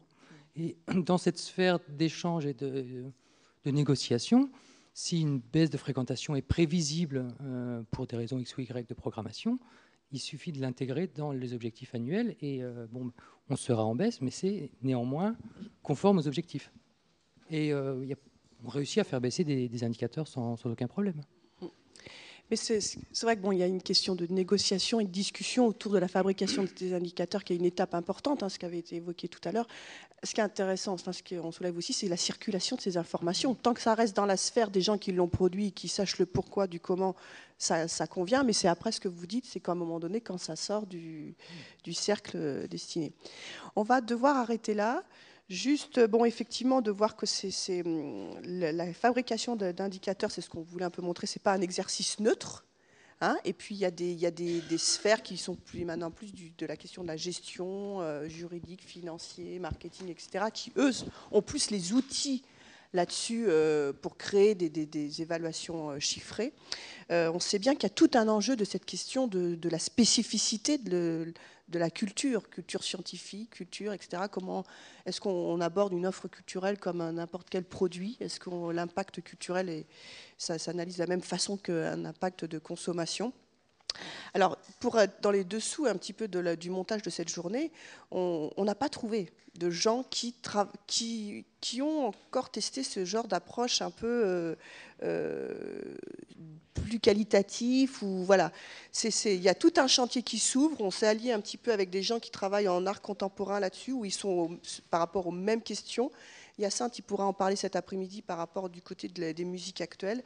Euh, voilà, c'est sûr que c'est tout un chantier à ouvrir et qu'il faudra faire des propositions assez rapidement.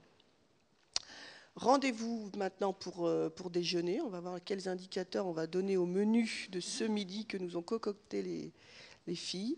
Voilà, donc là maintenant on va de l'autre côté du jardin des plantes, au restaurant de la baleine. Et puis on se retrouvera là ensuite à, à 14h pour poursuivre euh, nos discussions. Merci.